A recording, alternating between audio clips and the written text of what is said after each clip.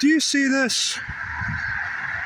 I've shown these guys before, and this this filth. This look at this.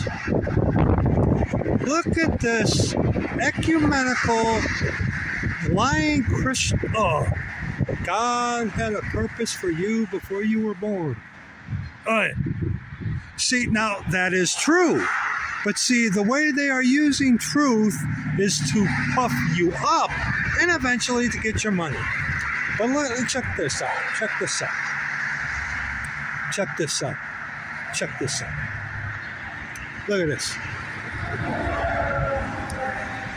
Jesus loves all children of the world and the unborn. children of the world. Now, see, you and I of the Church of the Living God, we see children of the world and we're like, wait a minute. Now, the unborn, the children in the womb, the aborted children, uh, yes, yes, but children of the world? Who are the children of the world? And see, they're putting it off like, you know, you'll make you think about the uh, young Hamitic children uh, who are starving to try to tug at your heartstrings. But that says children of the world. And what does the scripture say about the children of the world? You wicked devils. Hmm. All right, that's it. Christians. Hmm. Ah, that that little video was shot yesterday. Um, yeah, yeah, I, I need not say anything more about that. But please get your authorized version of the scriptures. Follow me along in the scriptures that you and I will be looking at today. Follow me along word for word, verse by verse at the scriptures that we will be looking at today. Follow me along. Be a Berean. Search the scriptures daily whether these things be so. Check me out. Make sure I'm telling you the truth. Make sure I'm not lying to you. Okay? Please follow me along. Word for word, verse by verse. God had a purpose God had a purpose for you before you were born. God has a plan for your life. Now, see, this is the truth. But as I had mentioned in that video, I was quite upset, and I was quite upset with what I see. That that grieves me. And like I said in that video, also there had been uh, there's another video floating around on the channel where I show that very thing with some of their wonderful little idioms that they put on there. But see, they're doing it to puff up your flesh. So you are made to feel like you're a special one, so you can pat yourself on the back. And that kind of mentality leads into dangerous areas, which will lead into, well, I'm not bad as so and so. God, I must have been, there's must have been something good in me for uh, the Lord to die for me. See, it's there to puff up flesh. Okay? If that if that was associated with the Church of the Living God, number one, it wouldn't be in one of them big buildings. Number one, okay, you'd be meeting in people's houses. You know, from place to place, that kind of thing. Okay, one day we're going to meet in Brad's place. Another day we're going to meet in Joe's. Next day we're going to meet at Alexander's or whatever. Okay, you, it would be something like that. It wouldn't be in a fixed, like a fixed place. Okay, Okay, yeah, they might have done that before in the past, but before in the past is not what we have today, is it? Okay? But see, that is what Satan does within Christianity. He takes the glorious, glorious truth of Scripture and then twists it to bolster up this. Okay? But see, yes, God had a purpose for you before you were born. Yes, that is truth. What is that purpose? Turn with me to begin with Matthew chapter 11. Matthew chapter 11, verses 28 on to verse 33. Come unto me, all ye that labor and are heavy laden, and I will give you rest. Take my yoke upon you and learn of me. Of me. Hmm. Of me. Now, see, like we've talked about before, in a Bible, it will say, learn from me. And, okay, all right, the Spirit of truth, which will lead you and guide you into all truth. And the Lord is that Spirit, okay? Yes, the Spirit of truth, which is our Lord Jesus Christ, who is God our Father, okay? One God comprised of uh, spirit, soul, and body, just like you are. You and I are, okay? But see, yes, the Spirit of truth will guide you into all truth, okay? He will teach you from the scriptures, the authorized version. Okay? And it is within the scriptures that you learn of our Lord Jesus Christ, God our Father. Okay? All right? So we are to learn of Him. Okay? Not merely from Him, but learn of Him. And we learn of Him by learning from Him. Isn't that something? okay? Take my yoke upon you and learn of me. For I am meek and lowly in heart, and ye shall find rest unto your souls. For my yoke is easy, and my burden is light.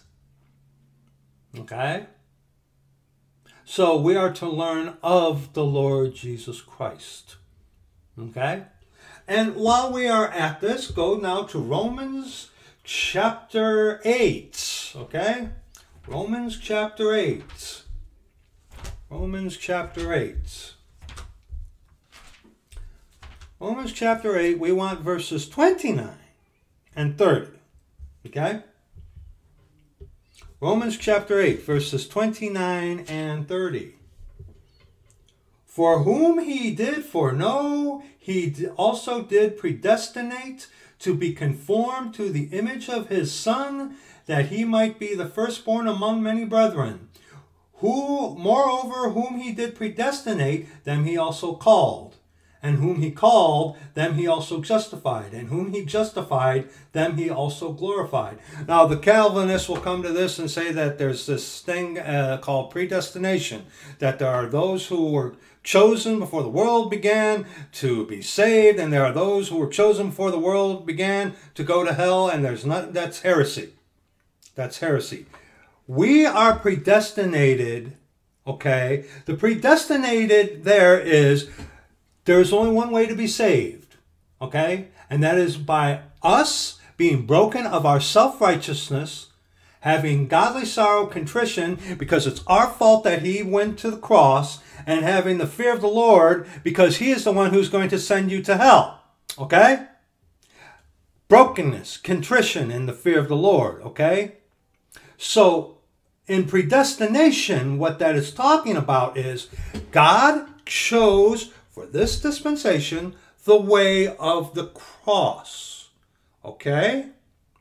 And when you go the way of the cross, the way He chose, and He saves you, Number one, you are predestinated to go to heaven. Once saved, always saved. Okay? But that is the way that the Lord chose, the way of the cross from the very beginning. And you see references onto the cross, about the cross, in the Exodus about how they put the blood on the top of the door and on the side posts, okay? The top of the cross and the sides of the cross, okay?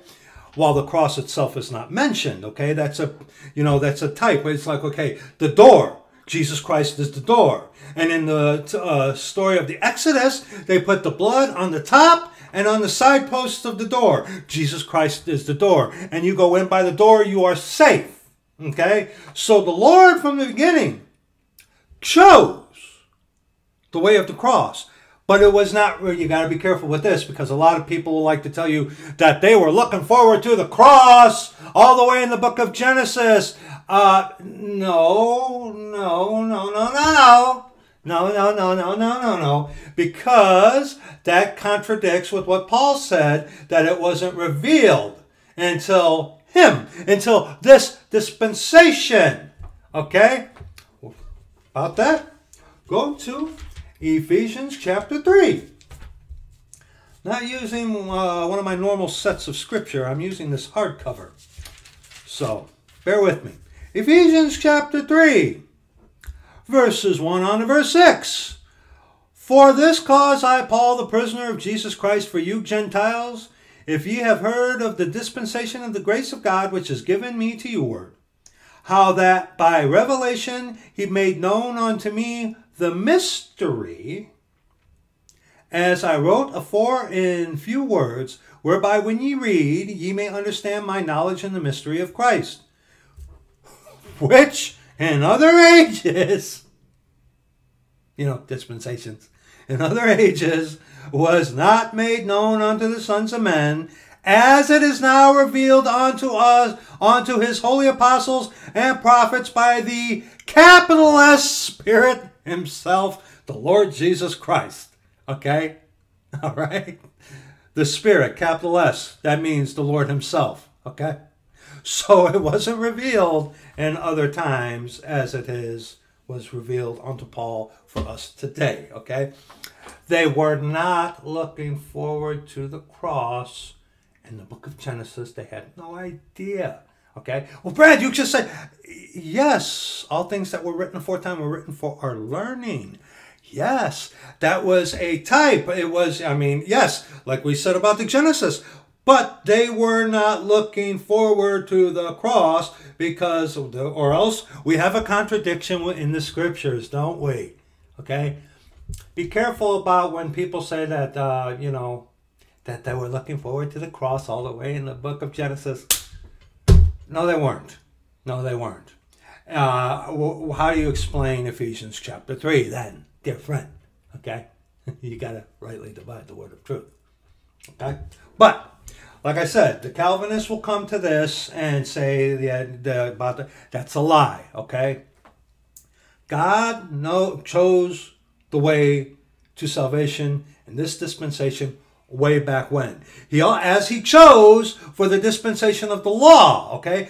God has his plans, okay? His big plan for all of mankind. Yes, he does, okay? He chose the patriarchs, Abraham, Isaac, and Jacob, to establish the Hebraic people. He gave the law. He chose that. He chose the way of the cross for this dispensation today okay, that all might uh, be saved, you know, that all would uh, come to salvation. Not everybody is going to, okay? So the predestination here in Romans chapter 8, verses 29 on to verse 30 is not like Calvin and his disciples, such as John MacArthur, okay? Justin Peters, that swine. Paul Washer. Okay? Those are just to name the big. Voddie Baucham. My dear, sweet, Hamitic sister, Voddie Baucham is not your brother. He is a Calvinist. He is not for your people. He is against your people, dear sister, okay? Voddie Baucham is not your brother, okay? He is a Calvinist. Beware of him, okay? That's all I've got to say about that. All right? But so, okay. This isn't the predestination like the Calvinist says. Okay, then what, you know, being predestinated, what does it say here? What does it say here? For whom he did foreknow, he also did predestinate to be conformed to the image of his son. Well, what does that mean, Brad? What does that mean? Well, good. You want to know? Okay.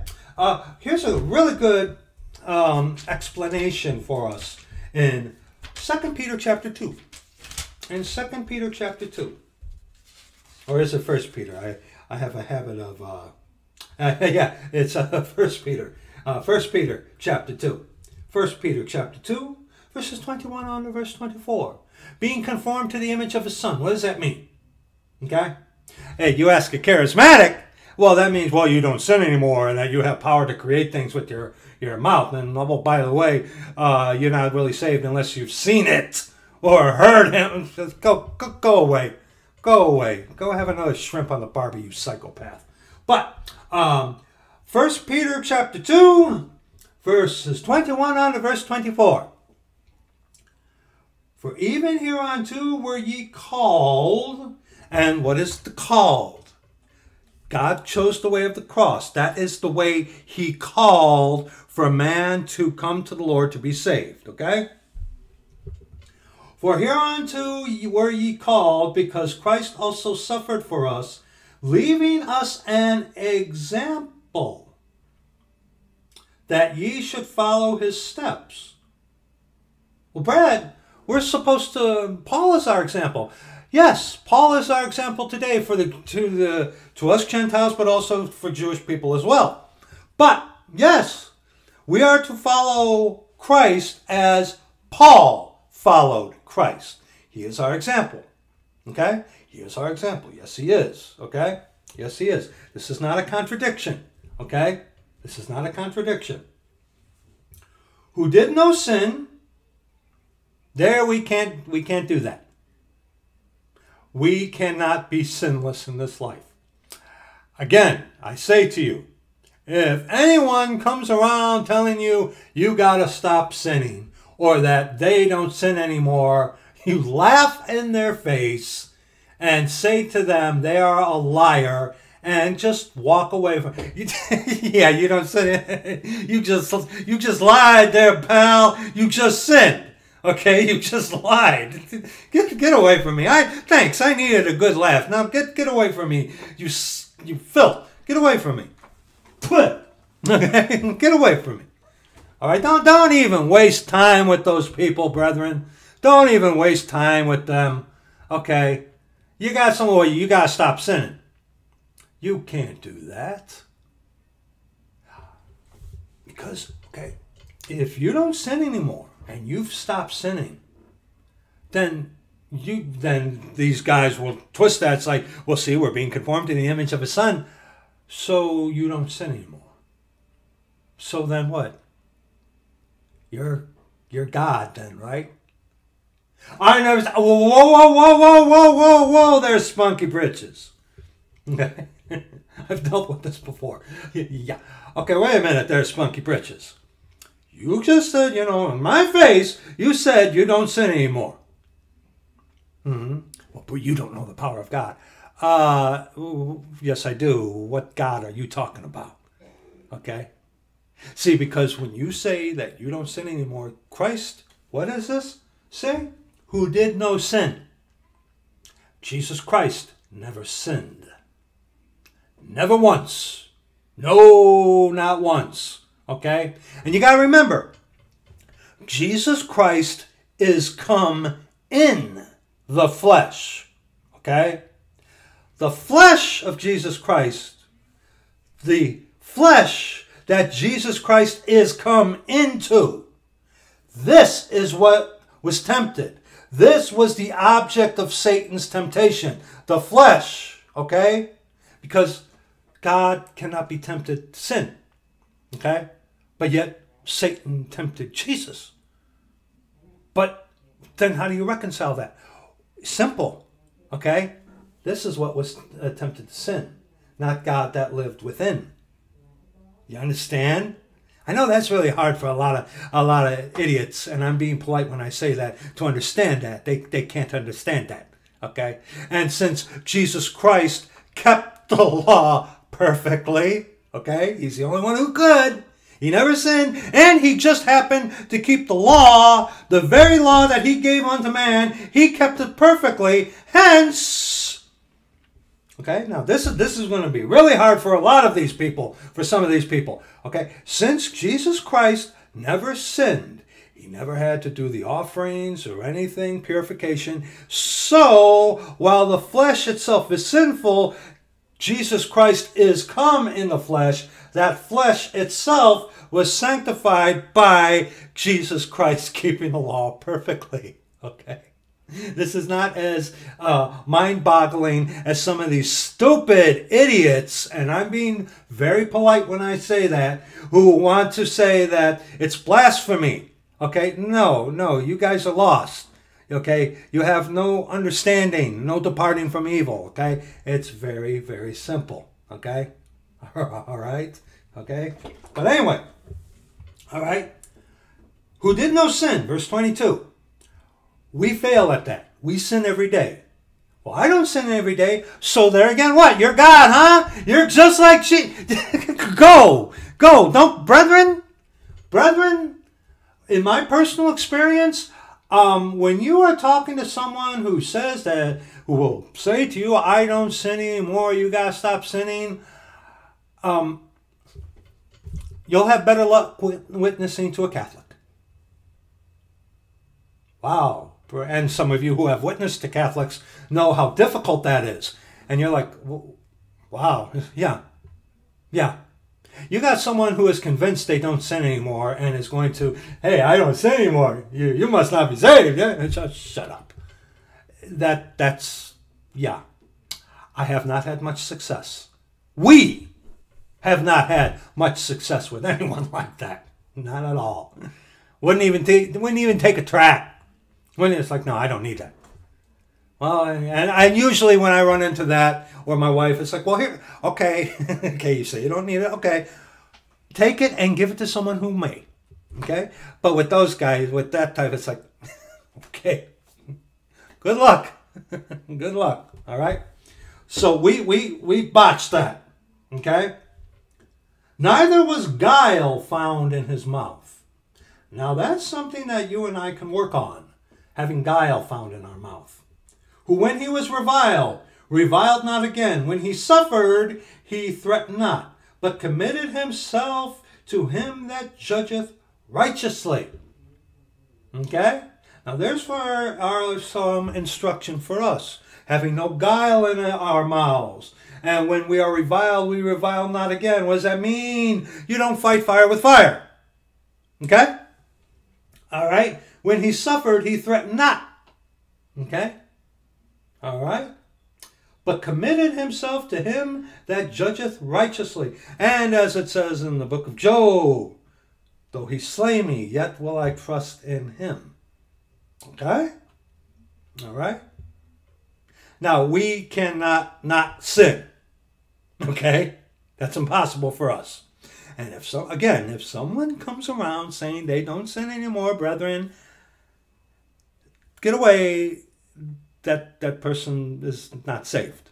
Okay, that that no, get get away, get away from them. Laugh in their face, laugh in their face. Well, Brad, that's kind of you know stirring the pot. Yeah, it is. Yeah, it is. You got someone coming around saying they don't sin anymore. They're basically saying they are God, and you laugh at them. Laugh at them. Yes, you don't yeah, so you're God. I didn't say that. God can't sin. God never sinned, and you're not sinning anymore. You don't sin anymore. You're, you're get away. go. Just go. Put your head in the toilet and flush it. Okay? get away. All right? Who his own self, because God shall provide himself a lamb for a burnt offering.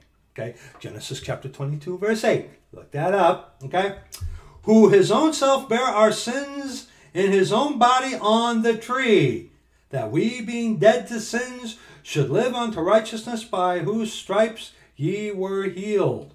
Now, we cannot bear the sin of another person. Every one of us is going to give an account of himself to God. But we can bear one another's burden. Okay? We can't do that. All right? Now, let's go to Philippians chapter 3. Philippians chapter 3. Like I said, I'm not using like uh, my Cambridge or that other uh, uh, little handheld one. I'm using a hardcover today, and you needed to know that. But uh, Philippians chapter 3, verses 7 on to verse 11. But what things were gained to me, those I counted loss for Christ. What things were gained to Paul that he is talking about here in context?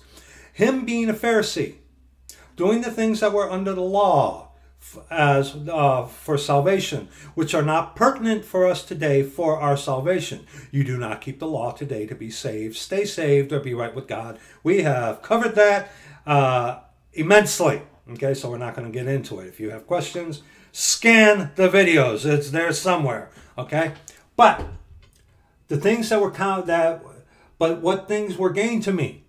Okay, keeping the law. You can't keep the law even if you tried. You offend in one point, you mess it all up. Okay, you can't. You you don't keep the law today to be saved. Okay, you don't keep the law today to be saved. Okay. But what things were gained to me, those I counted loss for Christ. Yea, doubtless, I count all things, but loss for the excellency of the knowledge of Christ Jesus my Lord. Now stop right there. In verse 7, he's addressing about how he was in verse 5, circumcised the eighth day, of the stock of Israel, of the tribe of Benjamin, and Hebrew of the Hebrews, as touching the law of Pharisee. Verse 6, concerning zeal, persecuting the Christians. Excuse me. Persecuting the church, touching the righteousness which is in the law, blameless. Then it comes to verse 7. But what things were gained to me, those I counted lost for Christ. Verse 8, yea, doubtless, and I count all things but loss for the excellency of the knowledge of Christ Jesus my Lord. So all things. Okay? Not just what he was making reference to of the things of the law, but, you know, being brought out from that. Being brought out from that. And not being yoked up with that. And the Christian, well, we got to do that. He says, shh, don't get ahead of me. We'll, we're we're going to get to that. Don't, oh, don't you worry. Okay? First thing second. Okay? So don't get ahead of me. Okay? But the Lord brought you out of Egypt, the world. Okay? To be conformed to the image of his son. And we are to follow Paul, uh, his example, for us today in this dispensation on how to do that. And Peter gives us a couple good tips on how to do it too. Okay? All right? But Paul is our example. Okay? He is. He was the apostle of the Gentiles. And remember, in Acts uh, chapter 15, they all got together at the Jerusalem conference. And after that, they were all on the same page preaching what Paul preached. Okay? So it was the gospel that was revealed unto Paul. Okay? As he said so in Ephesians chapter 3. Okay? So we're not supposed to be yoked together with that. Okay? Don't get ahead of me. All right? So, not to be yoked up with that. Count all things. All right? Uh, worldly friendships. Being yoked up in worldly things. Okay, like I said, we're going to touch on that in a little bit more detail, so don't get ahead of me. Let's continue. In verse 8, let's read it again. Yea, doubtless, and I count all things but loss for the excellency of the knowledge of Christ Jesus my Lord, for whom I have suffered the loss of all things not just about him, you know, being made aware, hey, I don't have to keep the law today to be saved, okay?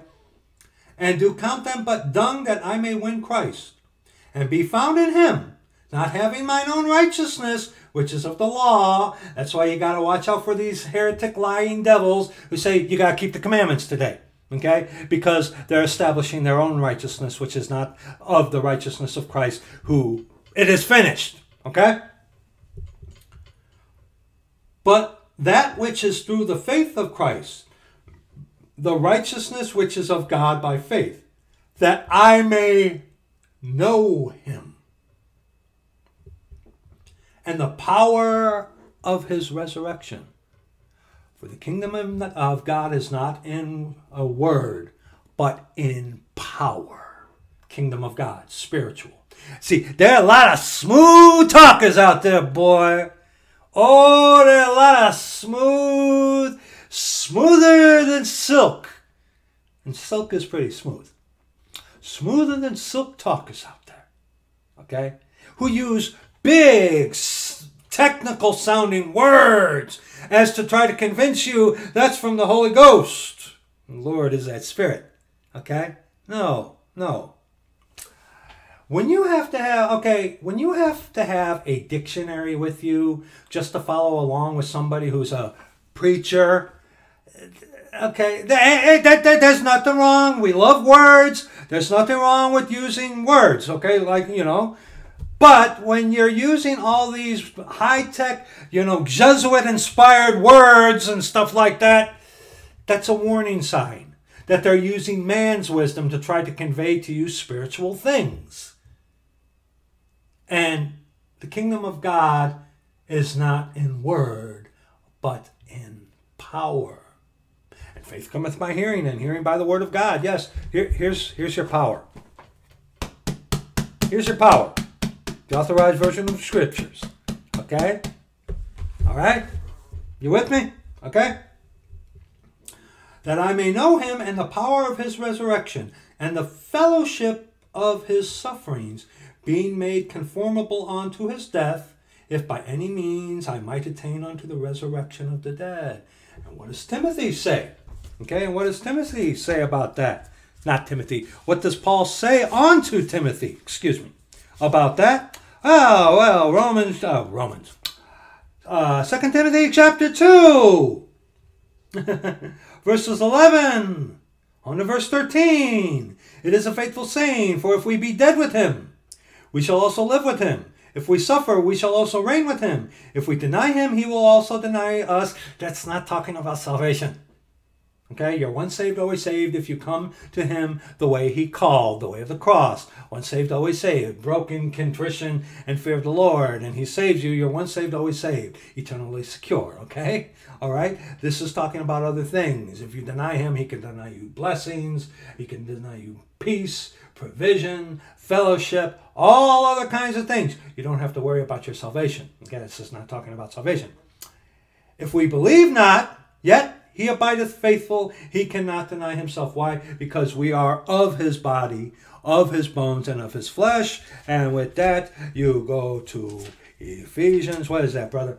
What is that? Uh, that's Ephesians chapter 4.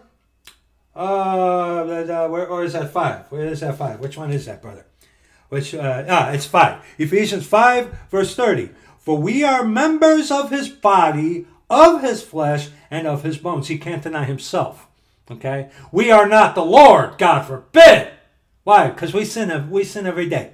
Okay? God can't sin. God never sinned. Okay? But we are part of him. He is part of us. Why? Because he dwells within us permanently. He cannot deny himself. You see how that works? Okay? So yes, God had a purpose before you for you before you were born. Yes. And that's to what? First Timothy. First Timothy chapter 2. Okay? But see, the way these Christians, like in that video, uh, the way they put, uh, put it to you, well, I must, I'm pretty, I ain't that bad. You know, I'm not that bad a person. Hey, hey, there was something in me that God saw good enough to die for me, right? Good enough to die for. Yeah. Yeah, get over yourself. And see, that's what they are putting onto you. That's why when you run into these Christians, they're some of the most arrogant, pompous asses that you will ever meet. Oh, Brett, have you ever have you ever worked with donkeys or asses before? I've told the story before about the one ass that was at the farm who had brains enough to, you know, in the chain link fence you farmers, you know what I'm talking about, how they have in the the, the big uh, gates of the chain fences where you could put the chain in there a certain way and turn the chain itself and lock it. The one ass figured out how to, with his teeth, take the chain off and then would go out there and just stand there and look at you with that look on its face. It's like, look, I got out of the pen. What are you going to do? It's like, you know? That's, you know, if, if you've dealt with uh, those kinds of animals before, you know what I'm talking about. If you haven't, then take a fence and take a gate. Okay? But, uh, I mean, a lot of these Christians that you will meet, they're some of the most impudent asses that you will want to meet. Okay? Pompous. You know? Arrogant. Well, I, I don't need that. I, I, you think I'm lost and you think, and the, the Jeffrey Dahmer thing is always perfect. You think Jeffrey Dahmer's in heaven and you think I'm lost? Yeah, I do. Yeah. Yeah. Yeah. Yeah, I do, actually. yes, I do. Yeah. Uh, First Timothy chapter 2, verses 1 on verse 6. I exhort therefore that first of all supplications, prayers, intercessions, and giving of thanks be made for all men, for kings, and for all that are in authority, that we may lead a quiet and peaceable life in all godliness and honesty. So, you know, praying for those in authority. Why do we pray? That we may lead a quiet and peaceable life in all godliness and honesty, that we may be ambassadors for Christ. Okay? But when you have people in the government, such as President Harris and her front man, Smoking Joe, um, as controlled by the Jesuit order, they work for the Jesuits. Okay? They have made their choice. They are in league with Satan. Okay? We do not pray for them because why? Those guys have made their choice. They work for the Vatican. They are traitors and conspirators.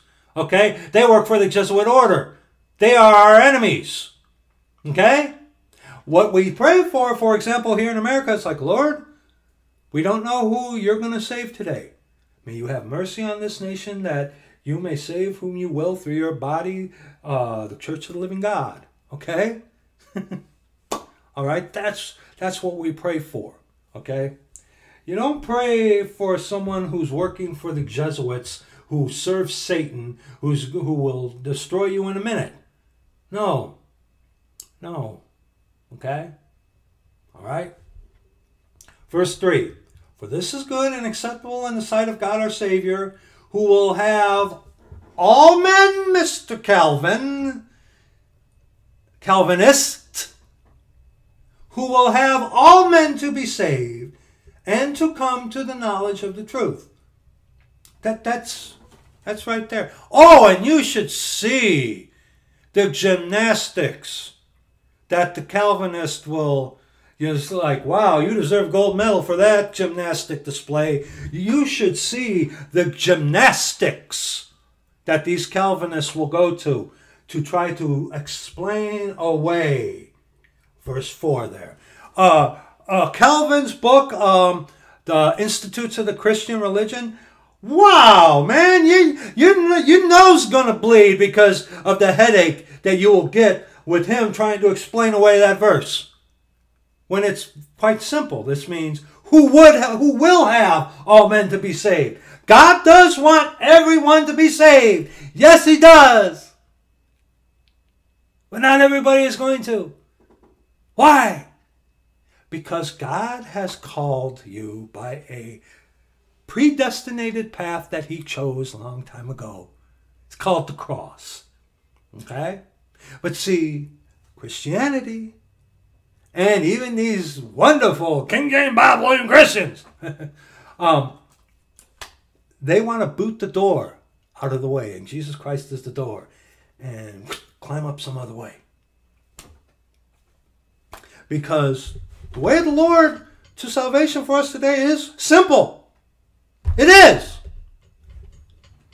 The hard part is you got to get over you. And that is what so many people stumble at. And that's where Christianity comes in and says, Well, God had a purpose for you before you were born. God loves you. God's not angry at you. You see? For there is one God and one mediator between God and men the man Christ Jesus and his mother Mary. and his mother Mary. Oh, wow, it doesn't say that, does it? Ah, who gave himself a ransom for all to be testified in due time. God did, God, yes, God had a purpose for you before you were born to know Him, to have fellowship, a relationship with Him. He wants you to be in heaven with Him. Yes, He does. But not everybody's going to go the way He has chosen. He's not everybody's going to go the way that He has predestinated, the way of the cross. Okay? one too many people come to that door and kick it, boot it out of the way, so they can climb up some other way and hold on to their self righteousness and their little pet sins that they love so much. Hmm. That is an unfortunate thing, but that is the reality of the situation. And Christianity is the culprit of this one of the culprits. And and what, what was that other thing of that video? Jesus loves all the children of the world and the unborn. God loves everybody. Huh? What about that? Hmm? What about that? Well, what, what, what's the when you meet one of these people, God loves you. What, what do they first say? What do they? Uh, well, well, don't judge. Well, yeah, that's probably the most uh, well-known verse in Scripture, and it's "Judge not that ye be not judged, not judge not lest ye be judged." Okay, judge not that ye be not judged. Okay, okay, but uh, you know, and on that, okay, the most popular and most well-known verse among lost people and especially amongst the Christians uh, judge not that ye be not judged. Matthew 7, verse 1. It's not judge not uh, that ye be, uh, judge not lest ye be judged. It doesn't say that. Judge not that ye be not judged. Okay? But, where do they go to? Where do they go to? You know this. Where do they go to? To justify Jesus loves all present tense, all the children of the world. And like I said in that video, and what the Christian wants you to put in your mind is the little Hamitic child who's starving, whose belly is bloated because of the starvation. Okay? I've heard people it's like, boy, that kid's got a bigger belly than I do, and he's starving. That that's one of the you know of starvation. Okay, all right all right? Especially with children, okay? So never mind that. But yeah, they want you to picture all the little children. And the thing about this is where and it says where they that sign says and the unborn, this has to do with the age of accountability once again. Okay? We're all born sinners. Okay? But the Lord is not going to hold one accountable until they are aware of the magnitude of what it means that they are a sinner. Okay? And that there is no specific age. Okay? There really isn't. It's a safe bet to tell you that by the time that someone reaches their 20s, by then, okay, you're past the age of accountability. You are, you know enough to know. You don't know who the Lord you know who the Lord is but you don't know him through relationship. Okay by the time someone reaches their 20s it is a safe bet that they know that okay that is not always the case. Okay like I said to you before it's dependent on the Lord and the person spirit soul and body. Okay? All right? But you know an 11 year old depends on many things but generally, usually, 11 year old is not going to have the concept of what it means that they are a sinner. Okay? Oh, they, they know that they've done wrong things, but the magnitude of what it means that you have sinned against the Lord. Okay? And it doesn't and it doesn't take you being a rocket scientist to figure that out. It's no, it's quite simple. But children, especially children, okay, I'm going to know that. And the unborn, yes, the aborted child. Okay? The aborted child. And people, well, God knows, you know, you know, they go to Jeremiah, before you were in the womb, I knew thee. And even a child is known by his own doings, whether they be good or whether they be right. Okay? All right? Some will argue that. Um, God is not a God who plucks the wings off of flies, okay? God is a fair and just God. Yes, we're all born sinners.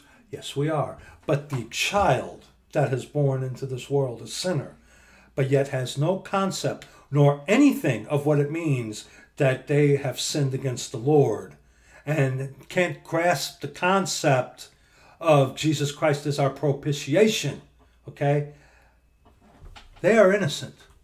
Yes, absolutely. You know who you are, brother and woman. Um, the child that you had aborted when you were lost, that child's in heaven. Okay? You had an oopsie as you believed, and you and that woman you talked into having an abortion. Let's not sugarcoat it. You murdered your child. You did. Doesn't matter if you were ready or not. God doesn't make mistakes. Okay?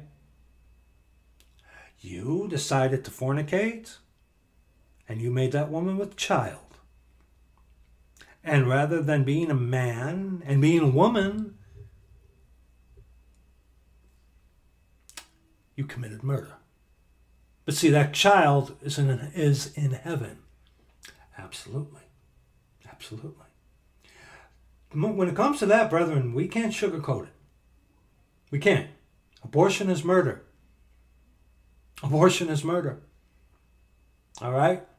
And there are those of you of my brethren who can uh, give many a testimony. Uh, my best friend, uh, you know, he, he can give the testimony of his mother, who, um, you know, if he chooses to, he could put that in the description box for you or in the comment section for you. Okay? But abortion is murder. Okay? So, yes, in that respect, a child before the age of accountability, whatever that age is, there is no set age. Like I said, it is safe to say that when somebody reaches their 20s, they're going to be aware of it. They're going to have the, the concept of, okay, yeah, I've sinned against God. And you know what? I don't care. Okay. And I was 20 once myself, okay, over 20 years ago. But yeah, that's why it's not a good idea for 20 somethings to get involved in such things like uh, ministry or whatnot. I mean, there are exceptions. Timothy was the exception because he was brought up in the scriptures when he was a child. Okay, when he was a child, he had the scriptures and he was brought up in that. Okay, he was more better suited because of that. Okay. But never mind. But what are they truly getting at when they say to you, these Christians, Jesus loves all the children of the world and the unborn. Now, what we just talked about the uh, about the age of accountability thing, yes, that's there. But what are they truly saying? What are they, and where do they go to to prove this? For God so loved loved the world. That's past tense. Loved. Here's a challenge for any of you Christians. In the authorized version of the scriptures, I'm not saying a Bible, the authorized version of the scriptures. Okay? I don't know about the Bibles. You never know with the Bibles. But with the perfect, inerrant, given by inspiration word of God, the authorized version of the scriptures, Here's a, here's a challenge for you. Within the text of Scripture, find me God loves you. Find it for me. In the authorized version of Scriptures. Put the verse in the, in the comment section. Go ahead. Go ahead. Find it for me. Find God loves you in the Scripture. I don't know. And nowadays, they probably got that in the New Revised Standard Version or something like that. That's not the scriptures. That's a Bible. There's a big difference. Okay? Find God loves you in the scriptures for me. Put it in the comment section. Go ahead, please. For God so loved, past tense, the world, that he gave, past tense, his only begotten Son. Jesus Christ is come in the flesh. God manifest in the flesh. Okay? Differing from the Old Testament, when God would appear in the form of a man, but see, that was the thing. He could come and go, come and go, come and go. Here, Jesus Christ is come in the flesh. He was born of a woman. Okay? God manifest in the flesh. That's what that's talking about. Okay? That whosoever believeth in him should not perish but have everlasting life. Now, see, you also got to be, you got to rightly divide the word of truth here, because this is being said before the death, burial, and resurrection. Because why? The devils also believe. Thou believest there is one God, thou doest well. The devils also believe and tremble. Okay? And also, you got to remember before the death, burial, and resurrection, Church of the Living God, you know this. What was the Lord Jesus Christ offering unto the Jewish people? The actual physical, literal kingdom of heaven. Okay? Beg your pardon. And the kingdom of heaven is all works. No faith is involved in the kingdom of heaven. Why? Because you're going to be able to see the Lord on the throne. Okay? You have to keep that in mind. But they come to John 3:16. John 3:16. And they say, "See, God loves you." Um Love the fun. Um, wait a minute. Wait a minute. For God so loved the world that he gave his only begotten Son. How in the wide world of sports entertainment do you get God loves you out of that? Hmm? How? Well, to justify sin, uh, people will come up with anything, right? See, again, God chose the way of the cross. And he has called you, whoever you are, to come to him the way of the cross, which is death to your self righteousness.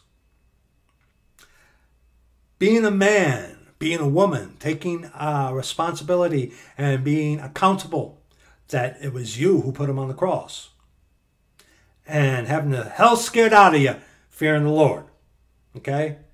And when you this and you know it, it isn't a step one, step two, step three. Are you saved, brother? No, it's not like that. It happens in one fell swoop. When you are broken and brought to that point, you know, it's like, I did this to you, Lord.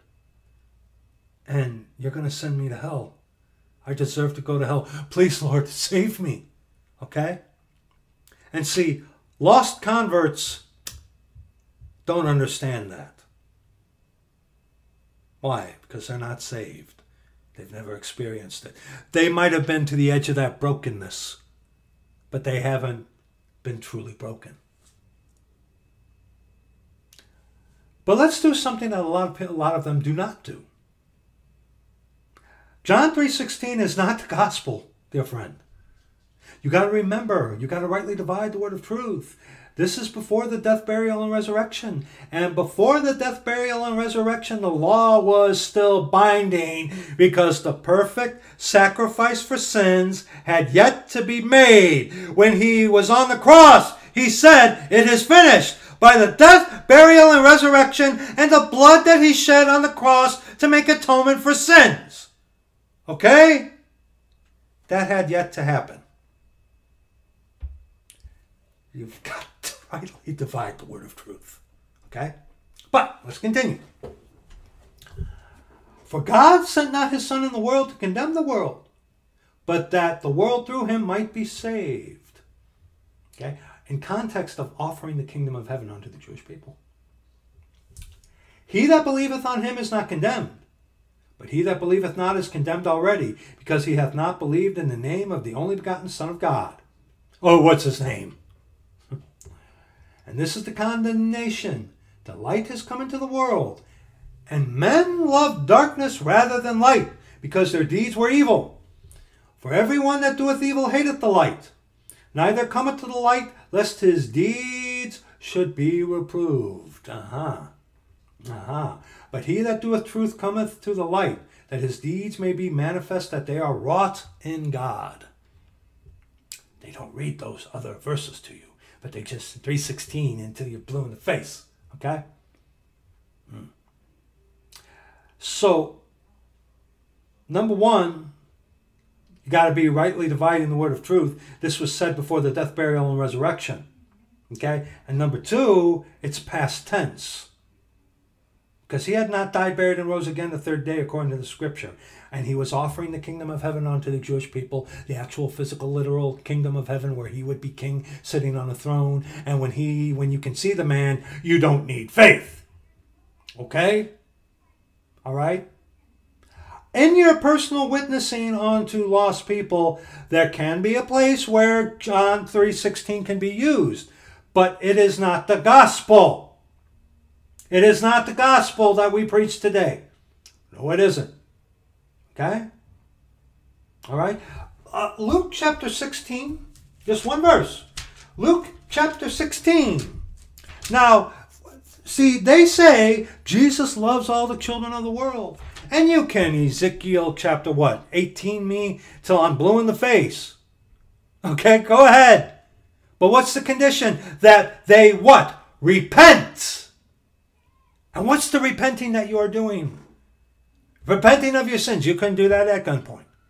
The repenting that you are doing is of your self righteousness, you know, patting yourself. Well, I'm not as bad as so and so. Okay? That's the repenting that is necessary to come unto the Lord to be saved. That is the repentance. Okay? I've called around before.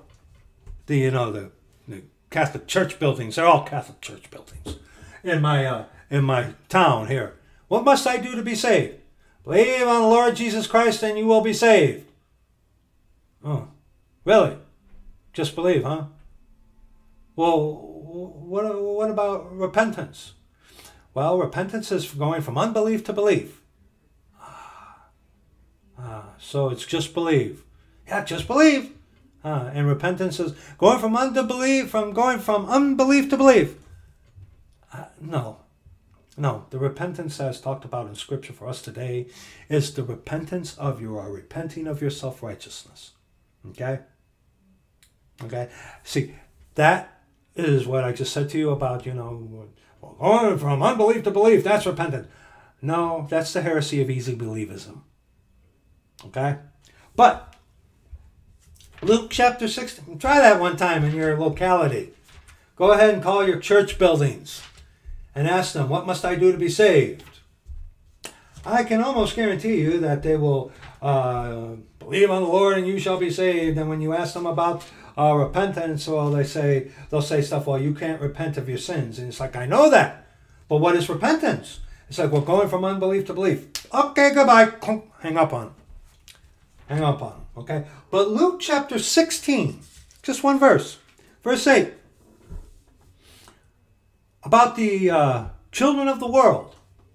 See, like I said, what they want you to believe uh, when they say that, that God loves all the children of the world. And we already talked about the thing about the age of accountability. But what is the hidden thing that they are saying there? God loves everybody. Everybody. Even those who have heard the gospel and reject him. God loves him. That's what they're saying to you with that. Very, very subtle, like Christianity is. Luke chapter 16, verse 8, about the children of this world. And the Lord commended the unjust steward because he had done wisely. For the children of this world are in their generation wiser than the children of light. Hmm. Wiser in what? The fear of the Lord? No, the wisdom that is first what? Earthly, sensual, and devilish. Okay? We have, uh, there's a video where we go through the unjust steward. I can't remember which one it is. But we, we've talked about the unjust steward before. But uh, and a little bit more on this children of this world. Go to, of course, Ephesians chapter 2. Ephesians chapter 2. Ephesians chapter 2. Oh, verses 1 on verse 3. And you, talking to saved people, hath he quickened, made alive, who were dead in trespasses and sins, where in time past ye walked according to the course of this world. according to the prince of the power of the air, the spirit that now worketh in the children of disobedience. Hmm. Among whom also we all had our conversation in times past in the lust of our flesh. Because Satan is a fan of flesh. He savoreth not the things that be of God, but the things that be of man, flesh. And remember, uh, Satan was cursed in the Garden of Eden to crawl on his belly and to eat dust all the days of his life. And what is man made out of? Dust. Yeah. But among whom also we all had our conversation in times past, in the lust of our flesh, fulfilling the desires of the flesh and of the mind, and were by nature, by nature, the children of wrath, even as others. So, okay, let's let's unpack this a little bit. So, we and you hath he quickened, made alive, who were dead in trespasses and sins. Talking about saved people. You and I, who are saved of the Church of the Living God, we were once dead in our trespasses and sins, lost sinners. You and I, we are saved sinners. Okay, they're lost sinners. Okay? Okay? You with me? So, a lost sinner walks, does what? Walks according to the course of this world. And they are also they are referred to as children of disobedience. People like to say, well, a child of disobedience is someone who's saved and gets messed up. No. You hear the true gospel and you reject it. You're a child of disobedience. You hear the true gospel presented to you, okay? That you're not good, that there's none good. No, not one. That includes you. It's your fault that Christ died. And unless he save you, unless you get right with him, he's going to send you to hell and you're going to burn forever and you deserve to go there. Doesn't have to be that way. But you're not a good person. You can't save yourself. It's your fault he went to the cross. And unless he save you, unless you get right with him, he's going to send you to hell. And you're going to have to give an account to him one, one day. It's, it doesn't matter what you believe on that aspect alone. One day, whoever you are, wherever you are, you're going to stand before the Lord Jesus Christ and give an account. Okay? You better get right with him. All right? You hear that gospel, how that Christ Jesus died, buried, and rose again, third day according to the scriptures, that he shed his blood on the cross to make an atonement for your sin. Okay?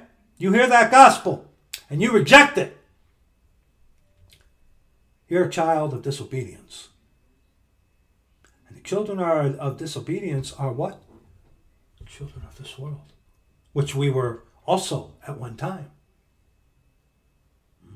So when they say Jesus loves all the children of the world and the unborn, we already talked about the age of accountability. What are they saying to you?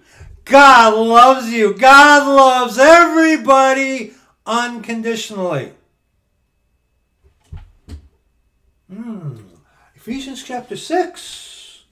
Ephesians chapter 6.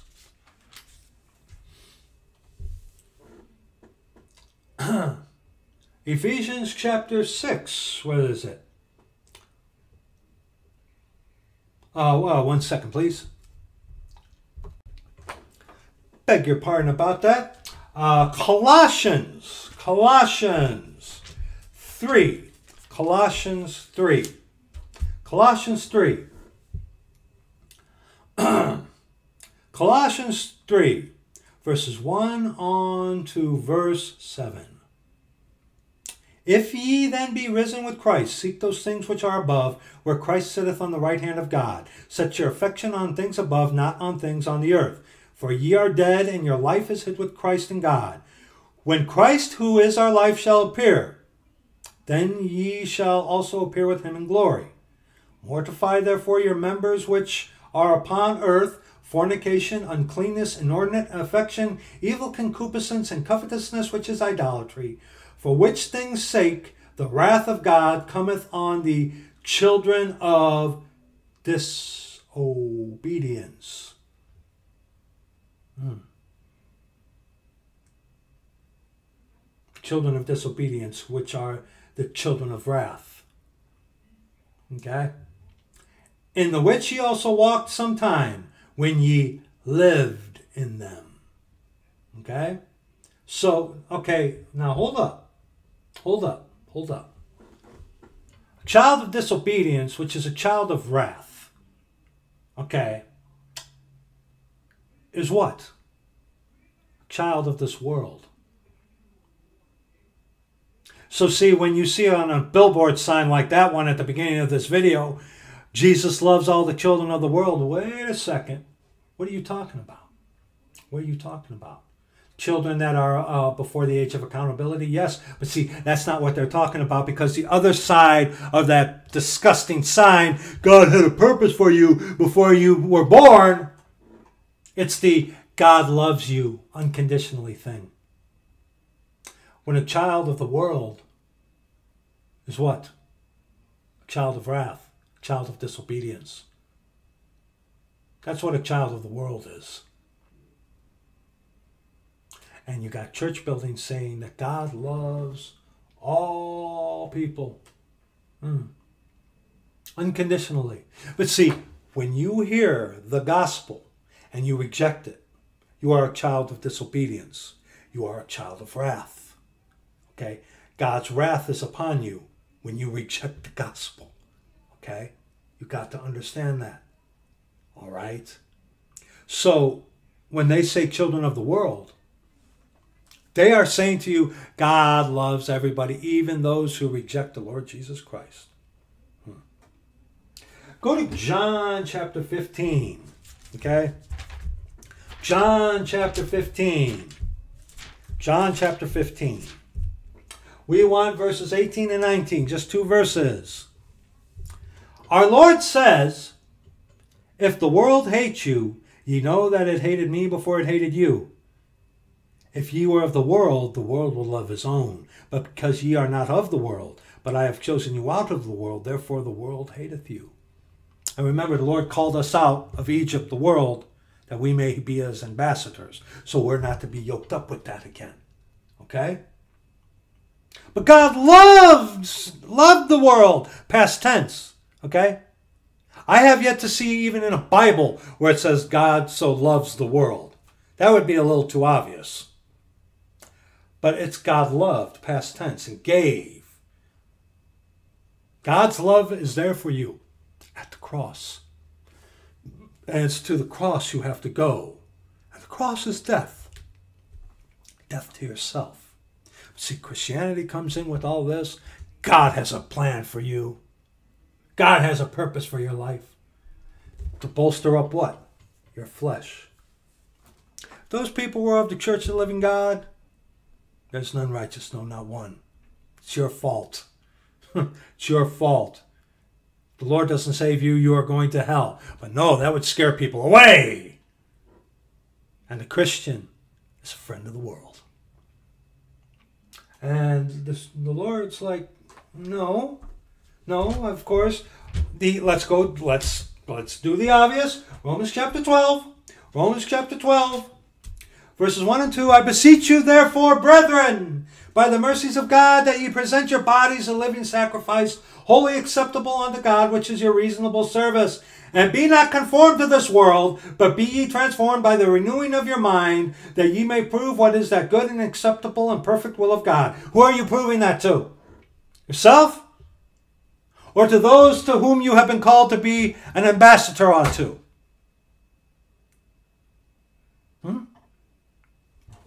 And some will be like, well, well, you know, we're so we're supposed to be amongst lost people, right? We'll get to that in a second. But before we get to that, before we get to that, Second Corinthians chapter 6. Verses 14 on to verse 18. Be ye not unequally yoked together with unbelievers. Yoke we read how our Lord said Beg your pardon? Take my yoke upon you. The yoke, two oxen would fit in a yoke. Okay, not the yolk of an egg, Mr. Smart, uh, Smart Alex, okay? But uh, two oxen would fit in a yoke. That's the yoke. And they would plow the field together, okay? Um, what would happen if you put uh, an oxen with a donkey? It would be lopsided, okay? So the yoke implies what?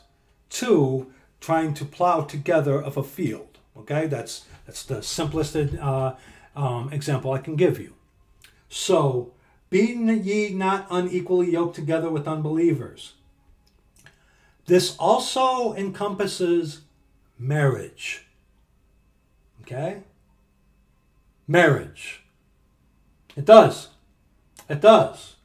It, in, it encompasses because what is a what is a more greater example of being yoked with someone rather than in marriage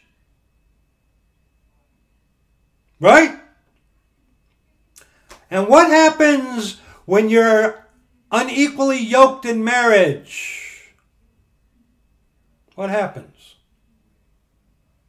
oh all kinds of things happen don't they you can't agree on even the simplest things and what makes it worse is when a hint of religiosity gets into the picture.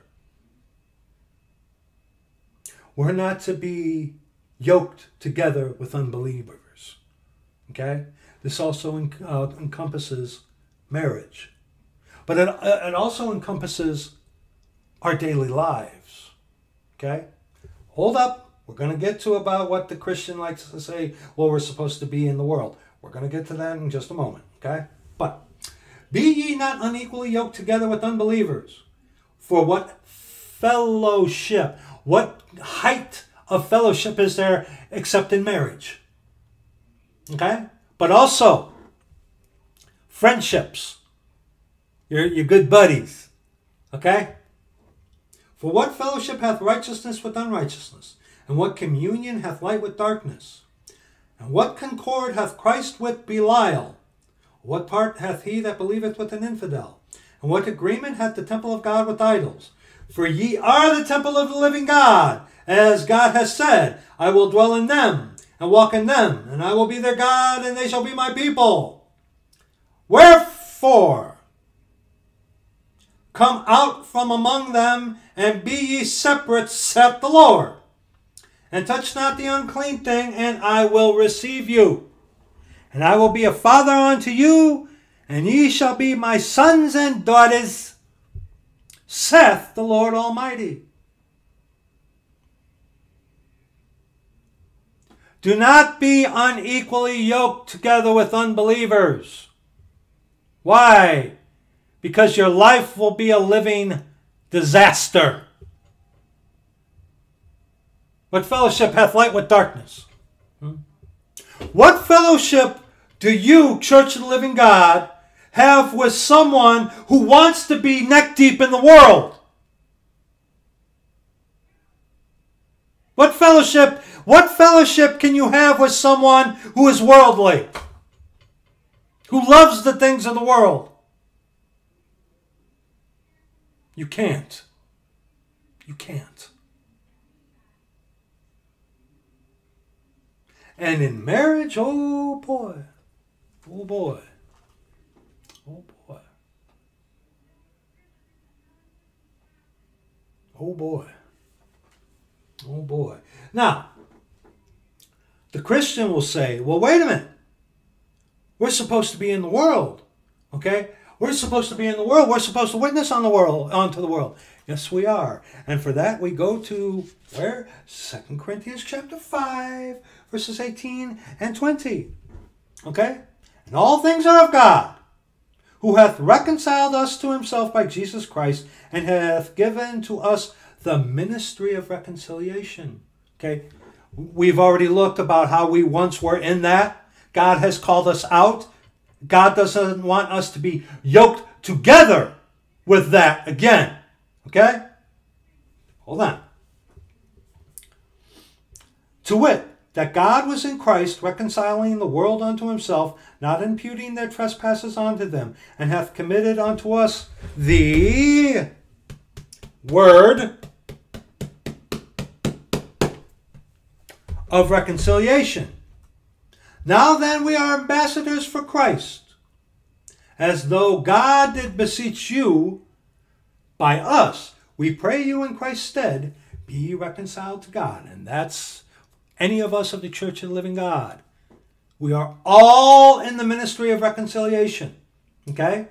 Now, sisters, ye know that you are not supposed to be teachers, okay, or preachers of in this capacity. You know that. But there are a myriad of ways that a sister can be used as an ambassador for Christ, especially among other women, okay? Especially. All right? All right? But we are all in some construct of a way, okay? We are all in the ministry of reconciliation. Yes, we are. Yes, we are. And but see, the Christian will say, "Well, we're, we're supposed to go. Uh, we're you know we're supposed to intermingle with the the lost." First Corinthians chapter five. First Corinthians chapter five. Amen. Amen. But what does Christianity tell you? Hmm? Here's what the scriptures tell you. First Corinthians chapter 5, verses 20, uh, excuse me, verses 9 on to verse 13. I wrote unto you in an epistle not to company with fornicators, yet not altogether with the fornicators of this world, or with the covetous, or, or extortioners, or with idolaters. Then must ye needs go out of the world. Okay? Yes. Okay? We are in the world, we're not of the world. Yes, our daily lives, our daily existence. Okay, you go to work, you're going to encounter lost people, okay? And we are ambassadors for Christ. Yes, yes. And nowadays, as we are experiencing, a majority of the witnessing that we are doing seems to be accountability uh, tracting and accountability witnessing. Because, um, you know, where even last year, uh, many doors were being opened, but now those doors that are opening are becoming fewer and fewer where more as we are being used as accountability witnessing, you know, holding people accountable. Okay? But nonetheless, we are to be examples unto the lost. And if they don't want to hear the, because faith cometh by hearing and hearing by the word of God, if they don't want to hear the witness or testimony from us, Another way we can witness and test, give testimony unto them is how we align our life according to the scripture. The testimony and witness that we can give without our mouth. Okay? Usually that encompasses accountability tracting.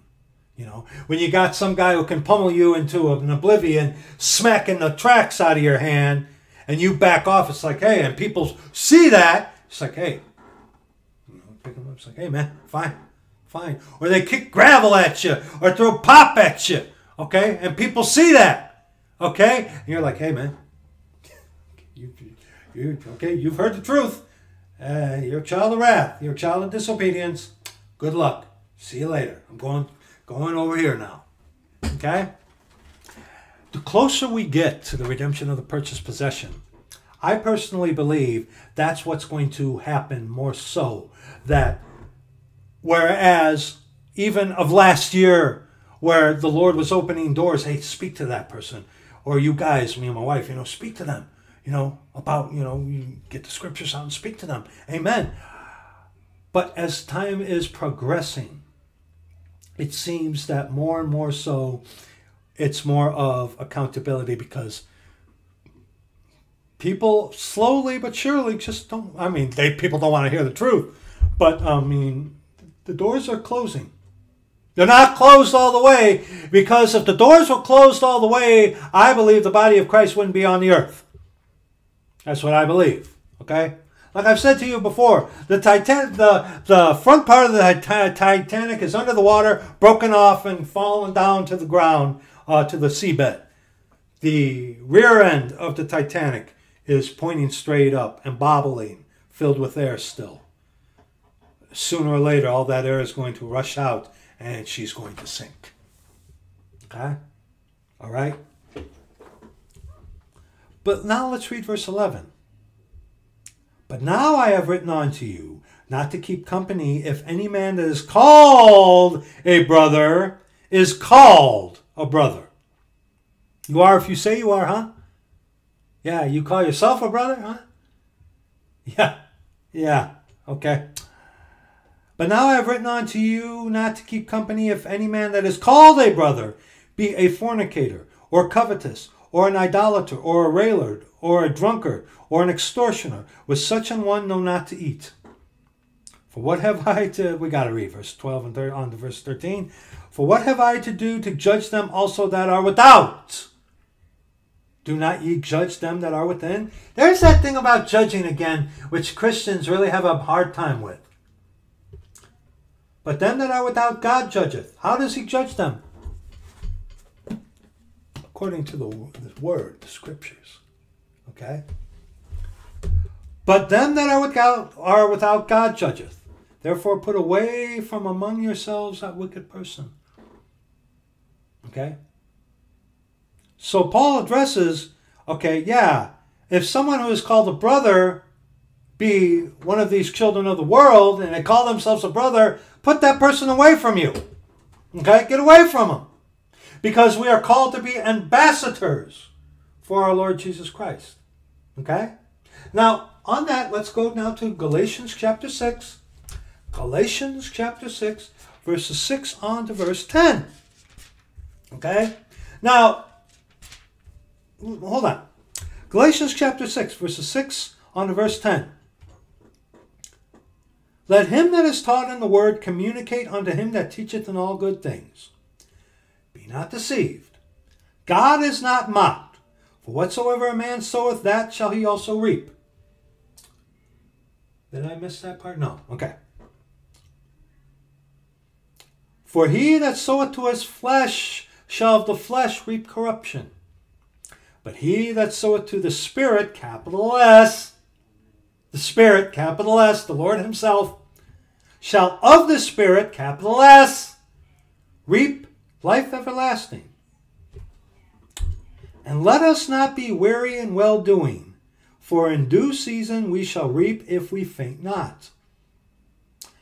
As we have therefore opportunity, let us do good unto all men, especially, especially unto them who are of the household of faith. Ah, and here we go. Here we go now. There are some out there um, and I have noticed this in uh, uh, select choice few of the King James Bible believing Christians who say that we shouldn't even help the lost people at all. And they and they come up with many valid arguments for that.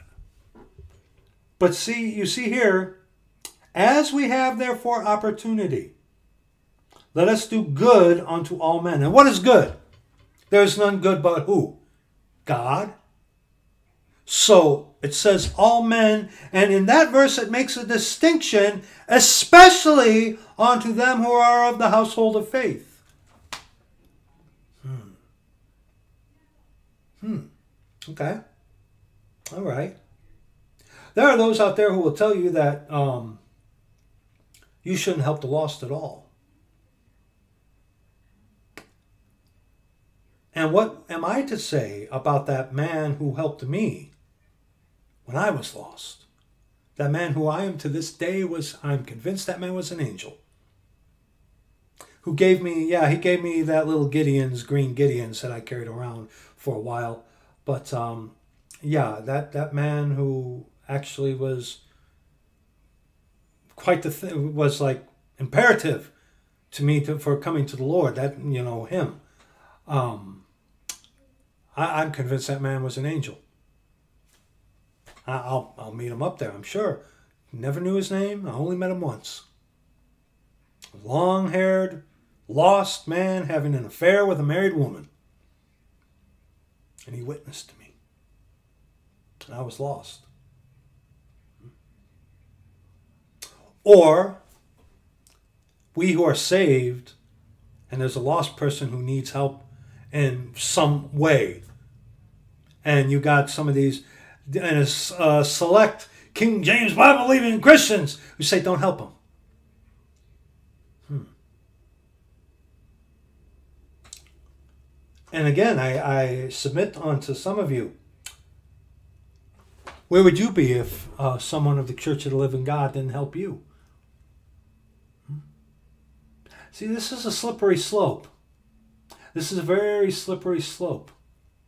Very slippery slope that too many people hmm, see, too many people get the wrong idea about this. Go to Romans chapter 12. Romans chapter 12. Okay? Romans chapter 12. Now, we're not addressing when our Lord says about, you know, if the publicans love their, uh, you know, if you love those who do good to you, don't even the publicans the same. We're not going to go there because when our Lord said that in context, that was for the kingdom of heaven. We're dealing with stuff that is pertinent for us today doctrinally in this dispensation through the Pauline epistles, okay? We're not going to what our Lord said because that is specifically in context for the kingdom of heaven. Okay? But we're going to deal with what the Lord would have us to deal with today. Romans chapter 12, verses, where was that? 17, or was that? Oh, 17 on to verse 21. Okay? Now remember how we looked in um, 1 Peter chapter 2. Okay? When our Lord uh, was threatened, he, uh, reviled, he didn't threaten, and he didn't fight fire with fire. Okay? And see, pacifists will come to that and say, okay, if someone's going to shoot you, just let him shoot you. Uh, no. No. Or some crazy's going to stab you, let him stab you. Don't fight. Don't defend yourself. I got a wife. Okay? Someone going to try to kill me and I can't bolt or run. I'm going to defend myself. Okay? I'm going to defend myself. And I'm going to do my best to knock that guy's head in. Okay? Brad, that's not very Christian of you. I'm not a Christian. Okay? All right? But yes, that, that, beware of these pacifists, you know, with their weird escalation of force kind of thing. If someone's going to try to kill you, defend yourself. Okay? Depraved indifference is sin. Okay? All right? But Romans chapter 12, verses 17 on to the close of the chapter. Recompense with an S, it's a verb. Recompense to no man evil for evil. Provide things honest in the sight of all men. Because remember, we're ambassadors for Christ. If it be possible as much as lieth in you, live peaceably with all men.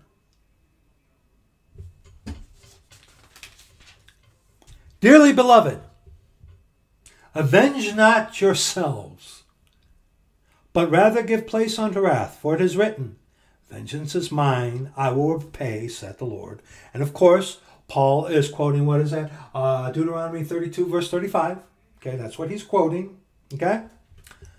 Verse 20 Therefore, if thine enemy hunger, feed him. If he thirst, give him drink. For in so doing thou shalt heap coals of fire on his head. Be not overcome of evil, but overcome evil with good. And of course, uh, verse 20, he is talking about Proverbs.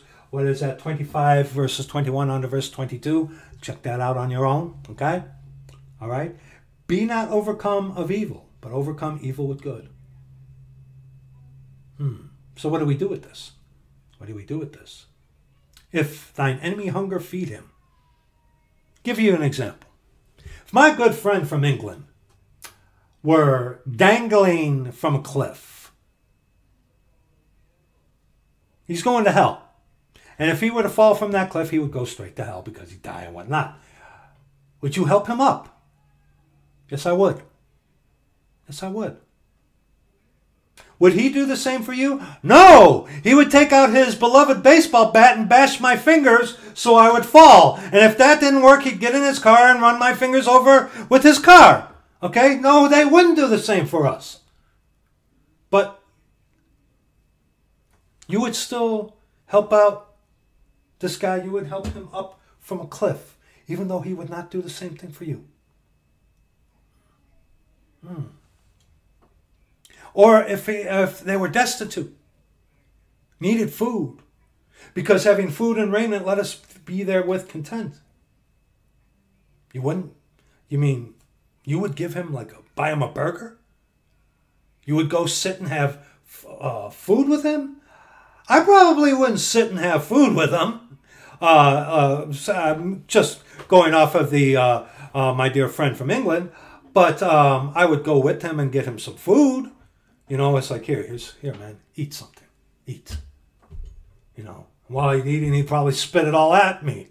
But that, you know, that's you know, in so doing, what is that? Therefore, if thine enemy hunger, feed him. If he thirst, give him drink. For in so doing, thou shalt heap coals of fire on his head. Okay?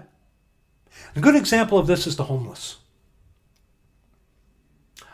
I have heard some of these King James Bible believing Christians who say don't help the homeless.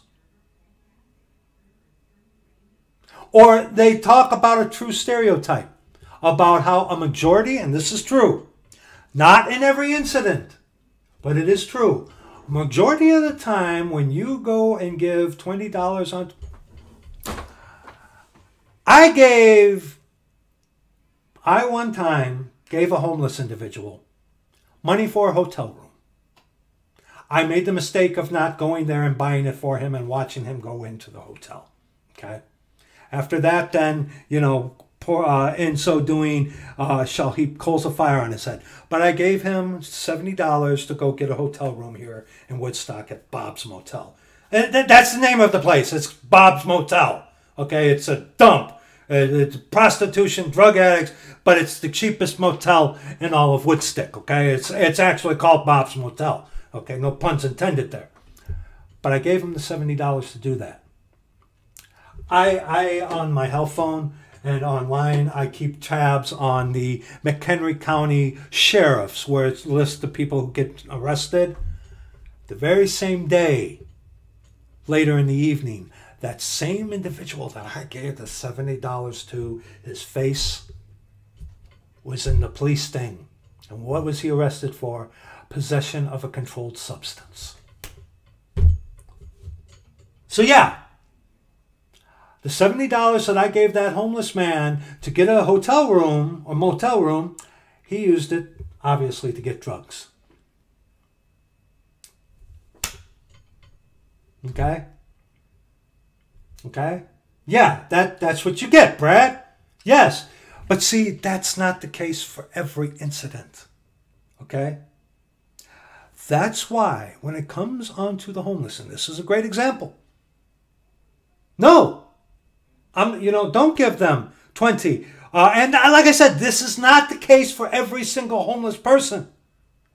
But you, as a church of the living God, okay?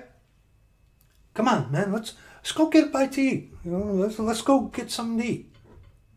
Okay, and then you you know you'll see, you'll see uh, because if they stall and then you they stall a little, it's like no man, I don't want to bother you. I just want a little money. I mean, are you hungry? You just said you were hungry. Let's go. You know, let's go. Let's have a bite to eat. You'll get out in out of this cold. It's like nah, that's okay, man. I, I just, and then you like you just want the money, don't you?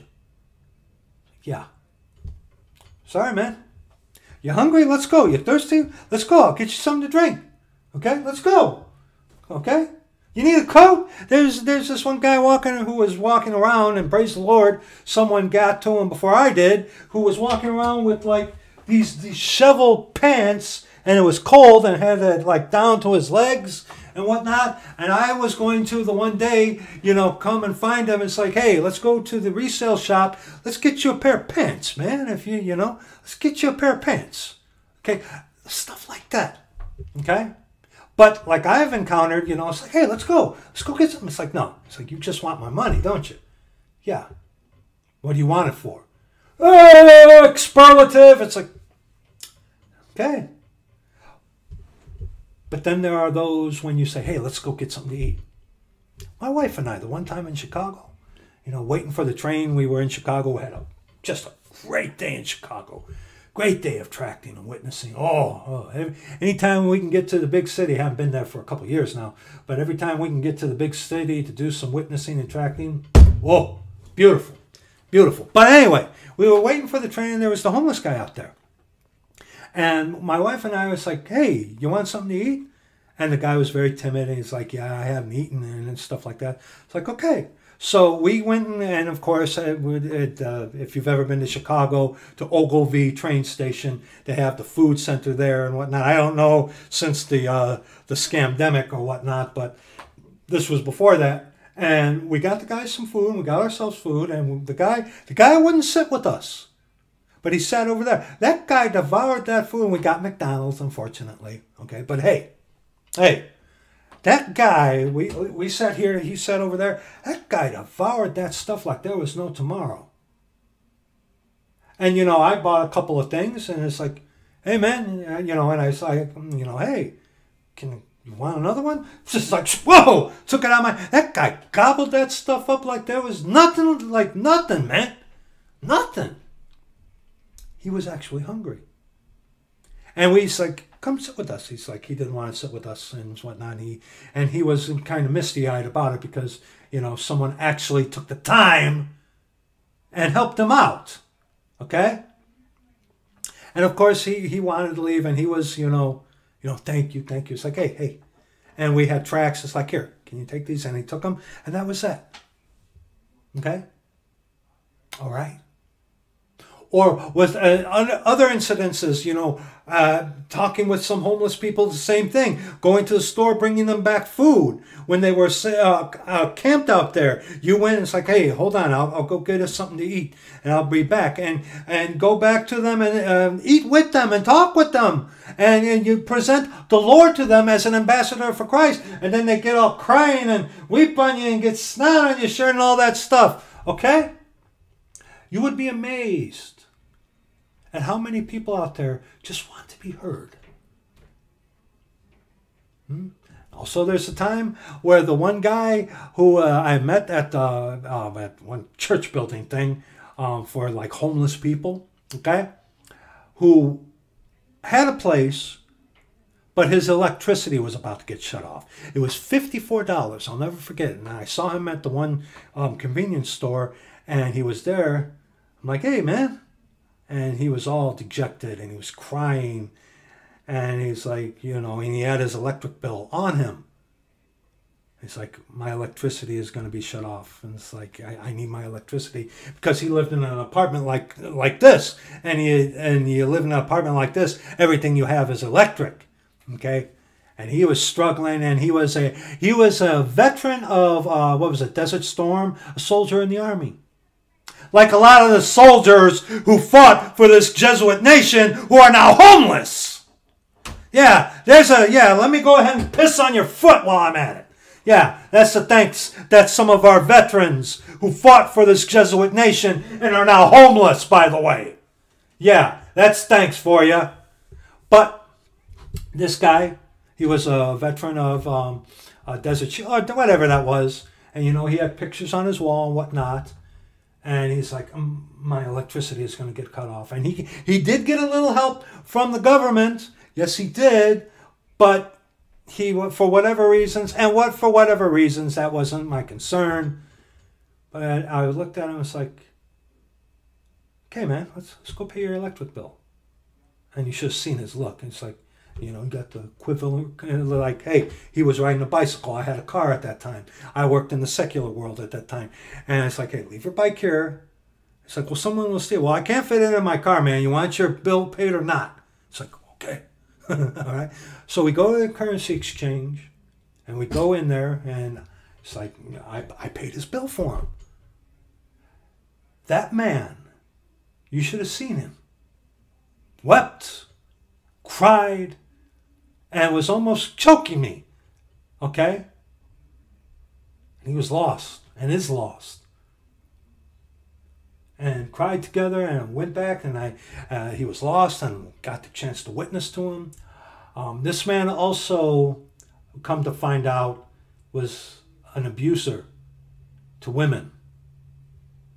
Yeah, he, he had a lot of problems and he's on his way to hell. But he cried on me. We embraced. It's like, hey, man, you know, paid his electric bill. Oh, and by the way, he was a Hamite. He was a Hamite. You let a Hamite cry on your shoulder and also put snot on you, and you, yeah, yeah. And you know what? There are some of these Christians out there who say, well, Hamites don't want me of Japheth to witness to them. You go shut up. I have encountered that before with some of these King James Bible believing Christians. That, well, I, I you know, I, uh, Hamite doesn't want me, a Japhethite, witnessing to him. Uh, okay, what about the Lord? I have actually encountered that. It's like, well, I'm, I'm, you know, I'm white. I'm only going to witness to white people. Are you crazy? Are you not? you're crazy? Yeah, and some of these Christians, man, they they'd be like that. Well, uh, he's not my same skin color, so I'm not going to witness unto him. You know what I say to a Christian like that? Go to hell.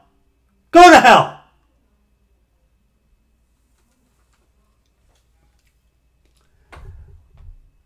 When you were lost, did someone of the Church of the Living God ever help you out? Hmm? Should we? I mean, yes, and like we said, um, especially for the, uh, especially of the household of faith okay, to do good unto all men, especially unto the household of faith, okay, especially. So, yes, our brethren, in any way we can help them, prayer, food, paying their bills, giving them a little cash, giving them clothing, whatever, however we are able, yes. But should we shun and spit on those who are not of us?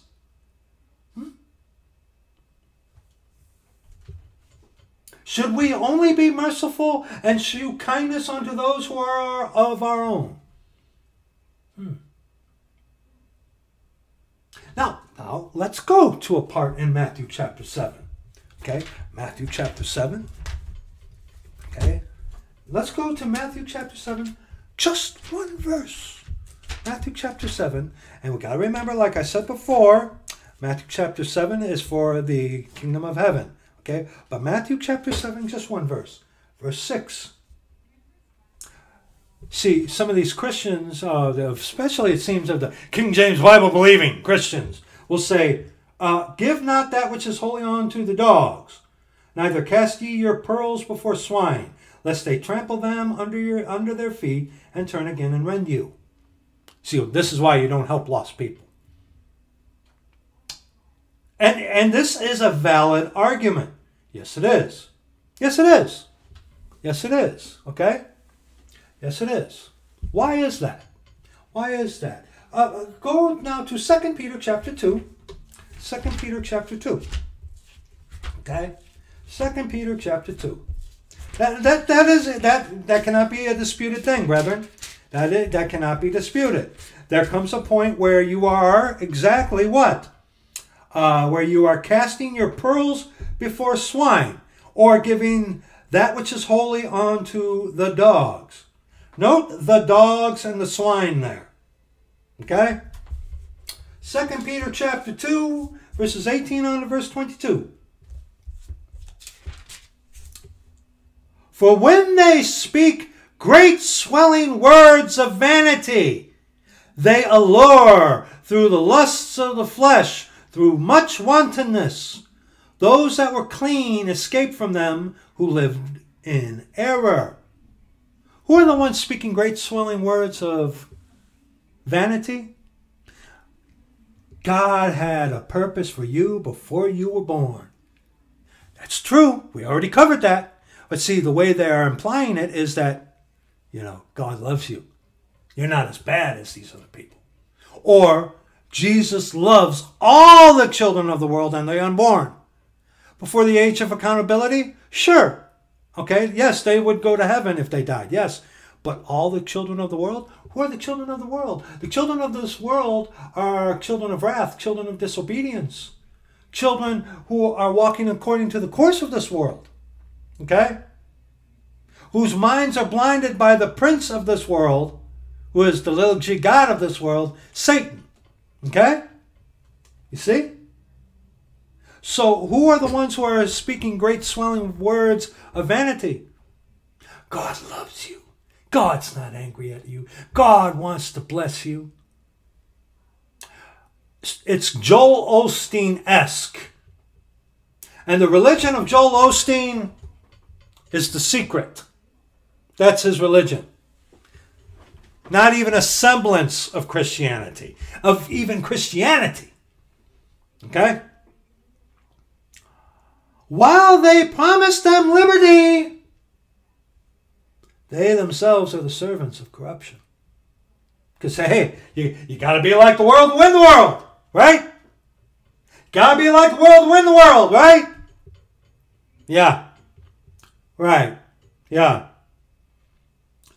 Well, while they promise them liberty, they themselves are the servants of corruption, of whom a man is overcome, of the same he is brought into bondage. For if, after they have escaped the pollutions of the world through the knowledge of the Lord and Savior Jesus Christ, they are again entangled therein and overcome, the latter end is worse with them than the beginning. For it had been better for them to not have known the way of righteousness than after they have known it to turn from the holy commandment delivered unto them. Now think about that. Once you hear the true gospel, the truth of salvation for today, and you reject it, you're a child of wrath. You're a child of disobedience. You've heard the truth. You've heard that you're going to go to hell unless the Lord saves you. You've heard it. Okay? And everybody's going to hear the true gospel at some point. Okay? Virtually, I mean, I mean, those aborted children, those murdered children, they're in heaven. Okay, a child who dies before they have reached that age of accountability, whatever age that is, they're going to go to be with the Lord. Okay, because they're not they're, they're innocent in a sense like that. Okay, but once they know and once they've heard, you're accountable to the Lord. Okay, okay, and this is saying, hey, it's it would be better for you to say that you didn't know rather than knowing and going contrary to what you've heard. And see, that's not the case because the Lord is going to give everybody witness. See? See how that works? Okay? And these Christians, especially the Jesuit trained cemeterians in the pulpits, who actually know the truth, but purposely speak contrary to that truth. Ugh. Okay? And you see a lot of these guys here on YouTube and on other ones, on other things like this, okay? But it, but it, it, but it is happened unto them according to the true proverb. The dog is turned to his male own vomit again, and the sow that was washed to her female wallowing in the mire. Go back to Matthew chapter 7, verse 6. Give not that which is holy unto the dogs, male. Okay? Neither cast ye your pearls before swine, female, lest they trample them under their feet and turn again and rend you. So who are we supposed to witness to, Brad? Uh, are you not listening? What is this talking about? Okay? And isn't it, uh, judge not that ye be judged, that ye be not judged? Okay? Talking about hypocritical judgment. All right? Someone who doesn't want to hear the truth, like we have just addressed in 2 Peter chapter 2, okay? They heard the truth of the gospel, but they reject it and want to be entangled, want to be yoked up with that. The latter end is worse with them than the, uh, than the beginning. Okay? So there are people that giving them the truth you know, casting your pearls before swine and giving that which is holy unto the dogs is kind of futile because they have made their choice. And when you give them the truth, they're just going to turn and rend you. And that happens with someone who has made their choice. They've heard the truth, they want nothing to do with it, and they want to continue on that downward spiral to hell. Okay? All right?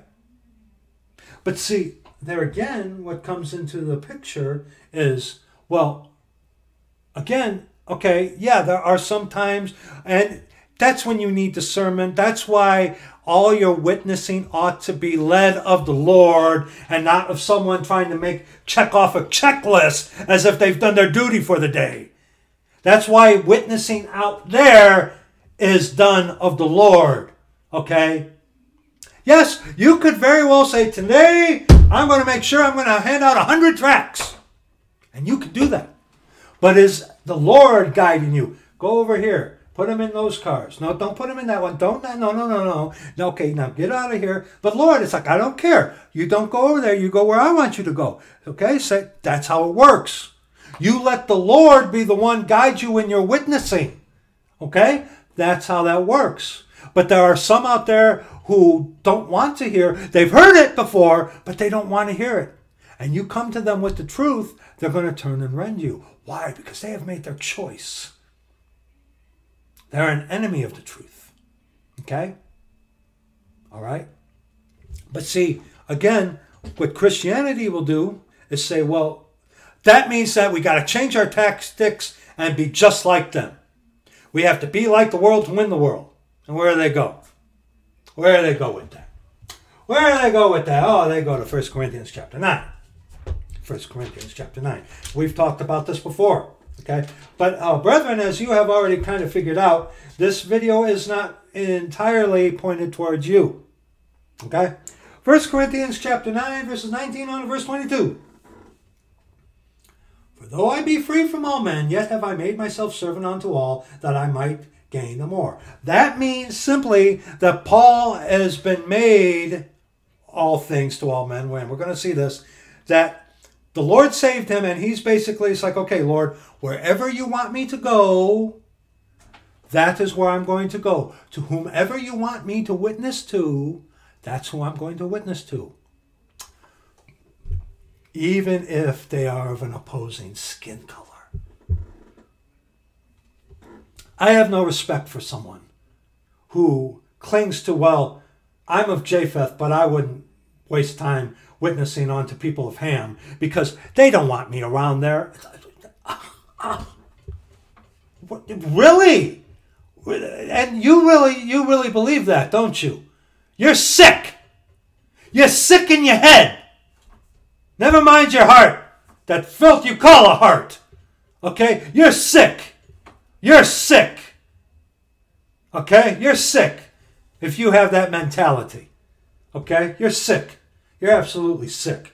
Okay? But, all right, where are we? 19 on to verse 21, uh, 22.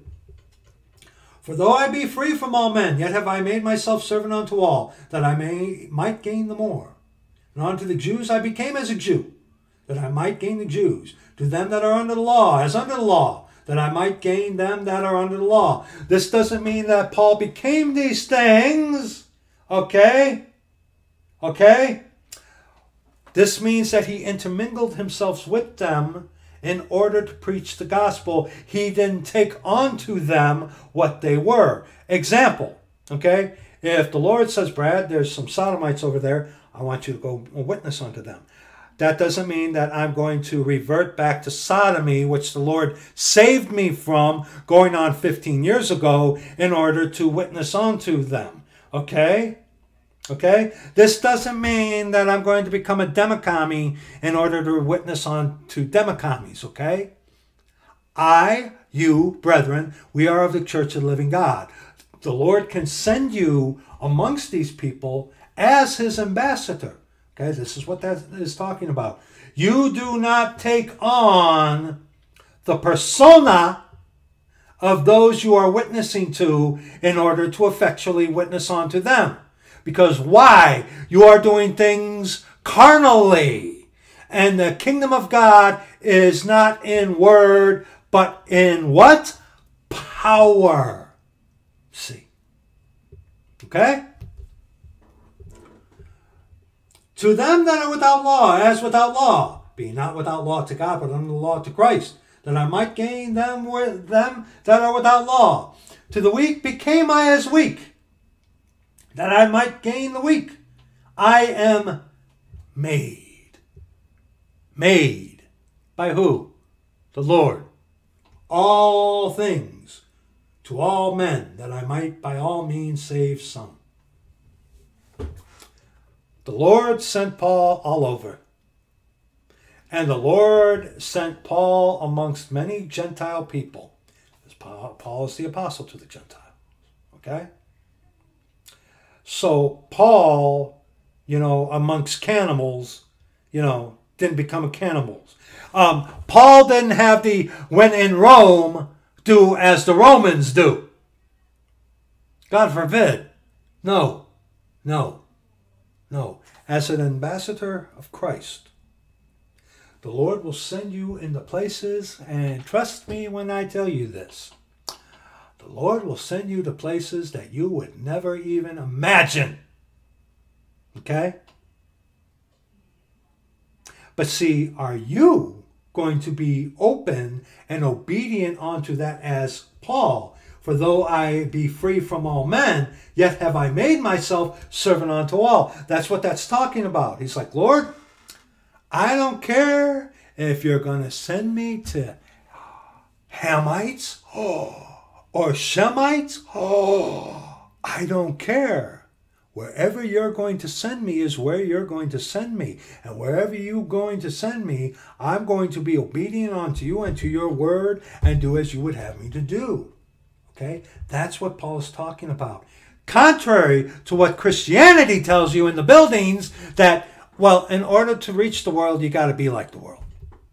Okay, in order to reach the kids, you got to give the. Ki- I used to um, um, volunteer at this youth center. I stopped after a while because it was just fruitless. Uh, I mean, okay, the, were these Christians opening a youth center to be witnesses onto these kids, but yet they gave them all pop and candy, pool tables, video games, and all this nonsense. And yet, and yet, okay, I was there and telling these kids about how uh, they're sinners and they're no good. And it's like, Brad, why would you say that to kids? They need to hear it, man. And of course, I was asked not to come, but I came anyway. But it was it was a mess, okay? But their mentality is, in order to effectually witness unto them, you have to become like them. No, it's not what the scriptures tell us. Okay? And besides, when you who are supposed to be, you know, not yoked up together with unbelievers, okay? When you who are called out are trying to be as one of them, they'll notice, okay? If you're someone who is actually saved, trying to go down to be like one of those who you are witnessing onto, they're going to notice. Okay? They're going to notice. What happens is when the Christian who isn't saved at all, they're just doing what they actually are. They just got a little religiosity, see? Okay? All right? We're called to be different, brethren. Okay? We're called to be different. All right? Should we help lost people? Should we? When I was lost, saved people helped me. When you were lost, did not a saved person help you at one time? Hmm? Especially to the those in the household of faith. Yes, absolutely. But never mind these poor uh, lost people. Hmm? Hmm. Hmm. James chapter 4, just one verse. verse 4. James chapter 4, verse 4. Just one verse. Just one verse, if I can get there. James 4, verse 4. Ye adulterers and adulteresses, know ye not that the friendship of the world is enmity with God? Whosoever therefore will be a friend of the world is the enemy of God.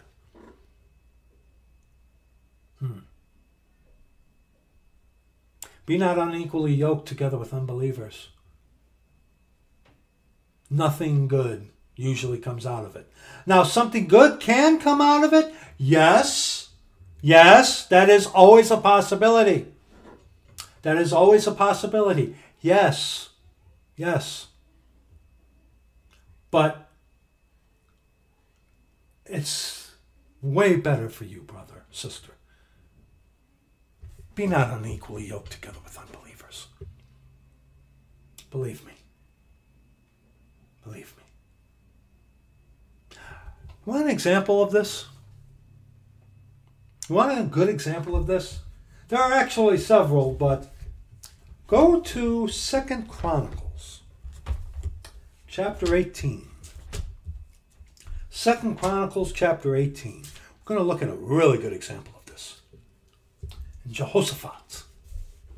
Jehoshaphat. Got to remember, this was in a different dispensation. Okay, you have to remember that. But King Jehoshaphat For, uh, Second Chronicles chapter 18, verses 1 on to verse 3.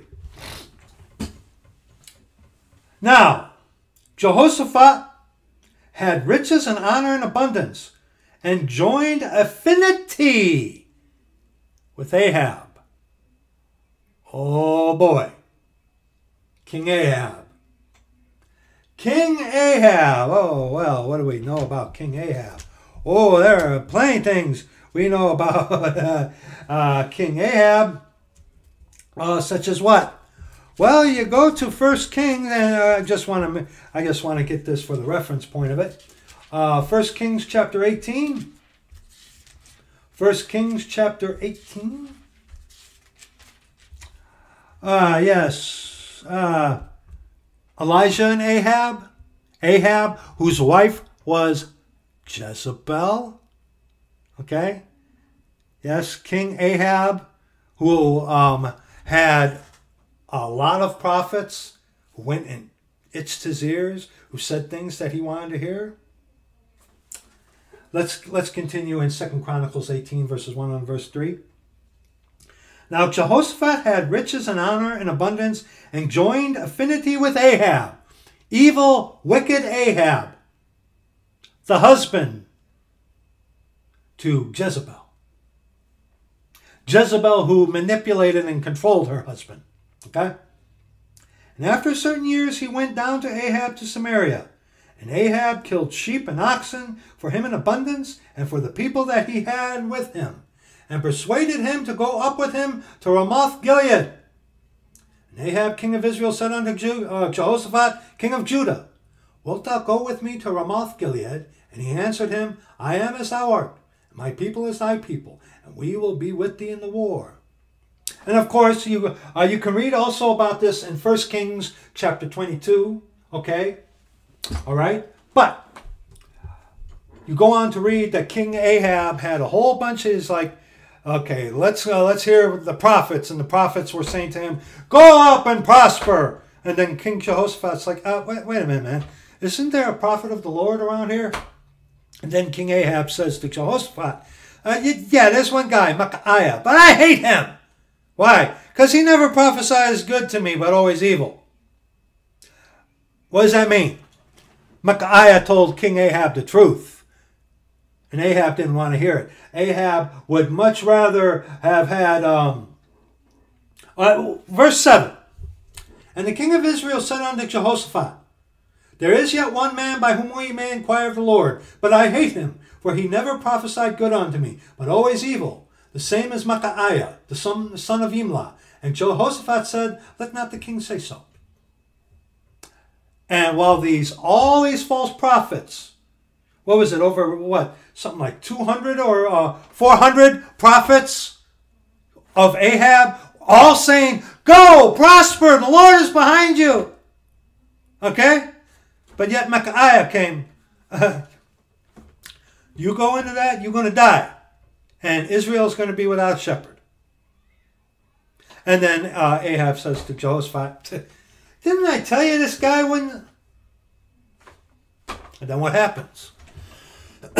Ahab goes to war and gets killed. Just like Micaiah said. Okay? Now go to Second Chronicles chapter 19, verses 1 on to verse 4. Okay? Now, here, now Jehoshaphat is in heaven. Jehoshaphat, who was the son of Asa, or Asha, however you want to pronounce it, Asa, he was a godly king. This, this is why I recommend to you all, brethren, that you read uh, 1st, 2nd Samuel, 1st, 2nd Kings, 1st, 2nd Chronicles, because you can get a whole lot of instruction in righteousness uh, looking at how these kings behaved. Okay? Very good for our instruction in righteousness. But King Jehoshaphat, he was a godly king. He did that which was right in the sight of the Lord. But what was his problem? He yoked himself up with people he should not have. And Jehoshaphat, the king of Judah, returned to his house in peace to Jerusalem. We're reading on to verse 4 in uh, 2 Chronicles 19. And Jehu, the son of Hanani, the seer, went out to meet him and said to King Jehoshaphat, Shouldest thou help the ungodly and Love them that hate the Lord. Hmm. Ahab hated the Lord. Okay? Ahab hated the Lord. He had over 400 prophets that came up to him and told him what he wanted to hear. Okay?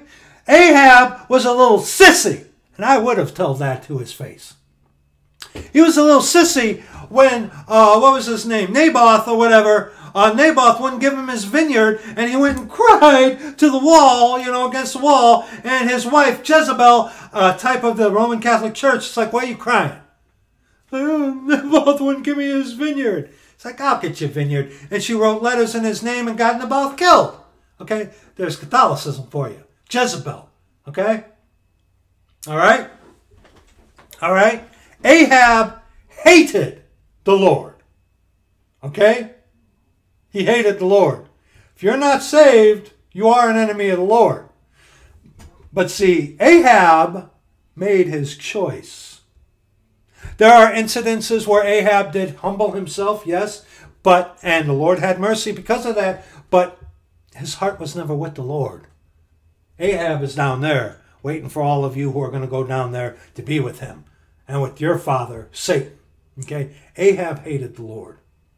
He was an active, participating enemy of the Lord Jesus Christ. Okay? In our terms, okay? Of the Lord God our Father, who is the Lord Jesus Christ, okay? Okay? He was an active, open enemy of God. So, because, and Jehoshaphat knew this. And besides, Jehoshaphat, um, Ahab said, I'm going to disguise myself going into the battle, but you wear your kingly garb. So what happened? Because King Jehoshaphat goes in there looking like the king, the people were like, ah, that's Ahab. But and, and Jehoshaphat, when that happened, he's like, ah, he cried out, and the Lord, like, they figured it out because the Lord protected them. It's like, oh, wait a minute, this this ain't Ahab. Never mind this guy. We got to find Ahab. And of course, what happened to Ahab? Some guy just threw a bow shot at a venture and then just happened to hit Ahab and kill him. Couldn't hide from God's judgment. See? Yeah, that's Ahab. Yeah, that's Ahab, whom Jehoshaphat made the affinity with. Who Ahab had 400 people who said everything he wanted to hear. Ahab, who would have let someone who said, Jehoshaphat, hmm, sometimes not the brightest, uh, bless his heart, and I don't mean that in the southern way. The same Jehoshaphat who said, I am as thou art, and my people as thy people, and we will be with thee in the war. His intentions were good, but Ahab, at the same time, it's like, You go ahead and take the fall for me wearing your kingly stuff, and I'm going to disguise myself. There you go. That says a lot about Ahab. He was a little sissy. Okay? So naturally, Ahab hated the Lord. Okay? All right? So hence, and Jehu the son of Hanani, the seer, went out to meet him and said to King Jehoshaphat, Shouldest thou help the ungodly and love them that hate the Lord? Therefore is wrath upon thee from before the Lord. This is an example of what happens when you yoke yourself up with unbelievers. But look at this. Number uh, verse three. Nevertheless, there are good things found in thee, in that thou hast taken away the groves out of the land, and hast prepared thine heart to seek God. Okay, works. Okay, and his heart to seek God, he wanted to follow after the Lord. Remember, this was written in a different dispensation. This is our instruction in righteousness. And Jehoshaphat dwelt at Jerusalem and went out again through the people from Beersheba to Mount Ephraim and brought them back unto the Lord God of their fathers. So, because of Jehoshaphat doing this thing, yoking himself up with uh, Ahab, there was wrath against him. But nevertheless, the Lord saw something good in him, meaning because he was keeping the law. And you got to remember, rightly dividing the word of truth. Okay? Your goodness, like we already saw, uh, came from keeping the law. Okay? Keeping the law. Different dispensation. No eternal security. The Holy Ghost was not a permanent resident. Okay? You have to remember that. Okay? But now, go to 20, chapter 20. Uh, Second Chronicles chapter 20, verses 31 on to verse 37. Okay? I like I like Jehoshaphat. I really do. I can identify with King Jehoshaphat because um, I've made similar mistakes. I have. I have. I have yoked myself up with people I should not have ever yoked myself up with. And I've paid the penalty and price for that. Now, some of those have turned out to be good. Okay, yes. But a majority of them, the times that I've yoked up with people I shouldn't have, it's always bit me and it's cost me something. Okay? Okay? But, but like I said, I, I, I like Jehoshaphat. Jehoshaphat is in heaven, absolutely. But Jehoshaphat had this problem. He did. And Jehoshaphat, uh, verses 31 on to the close of the chapter. And then we'll be done. Oh, just about. And Jehoshaphat reigned over Judah. He was thirty and five years old when he began to reign, and he reigned twenty and five years in Jerusalem. And his mother's name was Azubah, the daughter of Shilhi. And he walked in the way of Asa his father, and departed not from it, doing that which was right in the sight of the Lord. So see, Jehoshaphat had that testimony. But he yoked himself up with Ahab, and there was wrath against him. But yet he still had this testimony. Okay? It cost Ahab. Eh, I mean, it cost Jehoshaphat. We're not even mentioning David, okay, who had Uriah murdered because he slept with Bathsheba, okay? And we're not even gonna, we don't even have to mention at the severe cost it cost David for that, even though the Lord used him. Okay? All right? It cost David greatly. The sword never departed from his house. Okay? His children had, were committed incest. Okay? His own sons rose up against him. Absalom and uh, what was it? Amnon. Okay? His own, uh, he the Lord rose up trouble out of his own house. Okay? The sword never left his house. Okay? It cost David a lot of things. It was a price that if he could have gone back and done things different, I can guarantee you, and we in heaven, you know, when we're we're up there with the Lord, we'll be able to one day. uh, King David, sir, can I ask you if would what would you what would you have done different? Would you have done anything different with Bathsheba?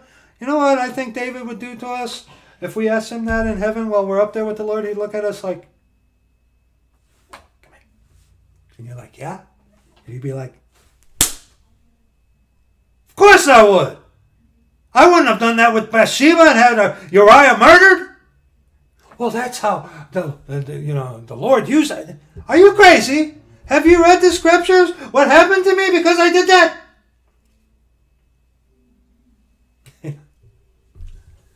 I wouldn't have changed anything. How the Lord got me to Himself. I wouldn't have changed a thing. You're crazy. I would have changed everything. Everything. I would have changed every single thing. Oh, there's a whole lot of things I would have changed. No.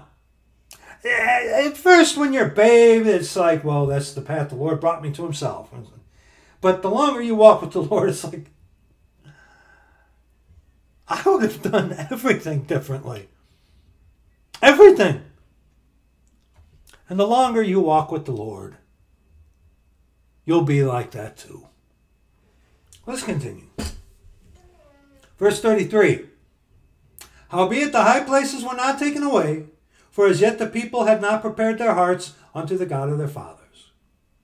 Now the rest of the acts of Jehoshaphat, first and last, behold, they are written in the book of the son, in the book of Jehu, the son of Hanani, who is mentioned in the book of the kings of Israel. And after this, did Jehoshaphat, king of Judah, join himself with Ahaziah, king of Israel, who did very wickedly. Hold your place, go to 1 Kings chapter 22. 1 Kings chapter 22. Who is this Ahaziah? You're going to like this. Verses 48 on to verse 50. Uh, 1 Kings chapter 22, verses 48 on to verse 50. Jehoshaphat made ships of Tarshish to go to Ophir for gold, but they went not, for the ships were broken at Ezion Geber. Then said Ahaziah, the son of Ahab, unto Jehoshaphat, Let my servants go with thy servants to, in the ships. But Jehoshaphat would not. And Jehoshaphat slept with his fathers and was buried with his fathers in the city of David his father, and Joram his son reigned in his stead. So this, and go back to Second Chronicles. So this, uh, uh, picking up at verse 35 in uh, chapter 20. And after this did Jehoshaphat king of Judah join himself with Ahaziah king of Israel, the son of Ahab, who did very wickedly. And he joined himself with him to make ships to go to Tarshish and they made the ships in Ezion Geber. Then Eleazar, the son of Dodavah of Mareshah, prophesied against Jehoshaphat, saying, Because thou hast joined thyself with Ahaziah, the Lord hath broken thy works. And the ships were broken, that they were not able to go to Tarshish. And that's what can happen to you when you yoke yourself up with unbelievers. Very very. And Jehoshaphat, right there, verse 32 And he walked in the way of Asa his father, and departed not from it, doing that which was right in the sight of the Lord. But yet he had these problems. He made affinity with people he should never have done so with. I have made that mistake myself. And I spare you, brethren. I spare you. I mean, you don't need to know all things.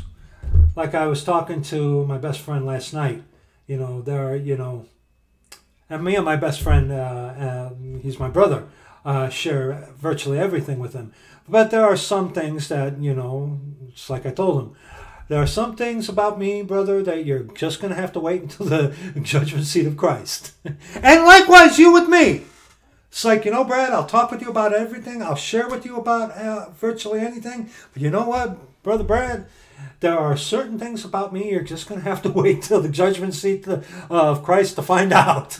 Meaning, because when we're all at the judgment seat of Christ, we're all going to find out all our little secrets, all our little things that we haven't done or have done. We're all going to know about it one another. That's going to be it for this video, brethren. Um, like I said, um, thank you to my dear brother who basically was the catalyst for this video um, about, you know, should we not help the lost at all? Well, when reading what we just read about with Jehoshaphat, but then again, you know, that's up between you and the Lord. That's where discernment, and that's why the Lord is the one who ought to be the one who's guiding you in your witness. Okay? But to to um, to like it says in Isaiah chapter sixty-five, uh, verse five, you know, there are a lot of people out there, and it seems within the King James Bible believing movement that have this Isaiah sixty-five mentality when it comes on to lost people Isaiah 65, verse 5, which say, Stand by thyself, come not near to me, for I am holier than thou. Okay? These are a smoke in my nose and a fire that burneth all the day. I can barely see that. But, you know, there is that mentality being taught amongst King James Bible believing Christians. That's where discernment comes in. That's where you are you doing what the Lord would have you to do?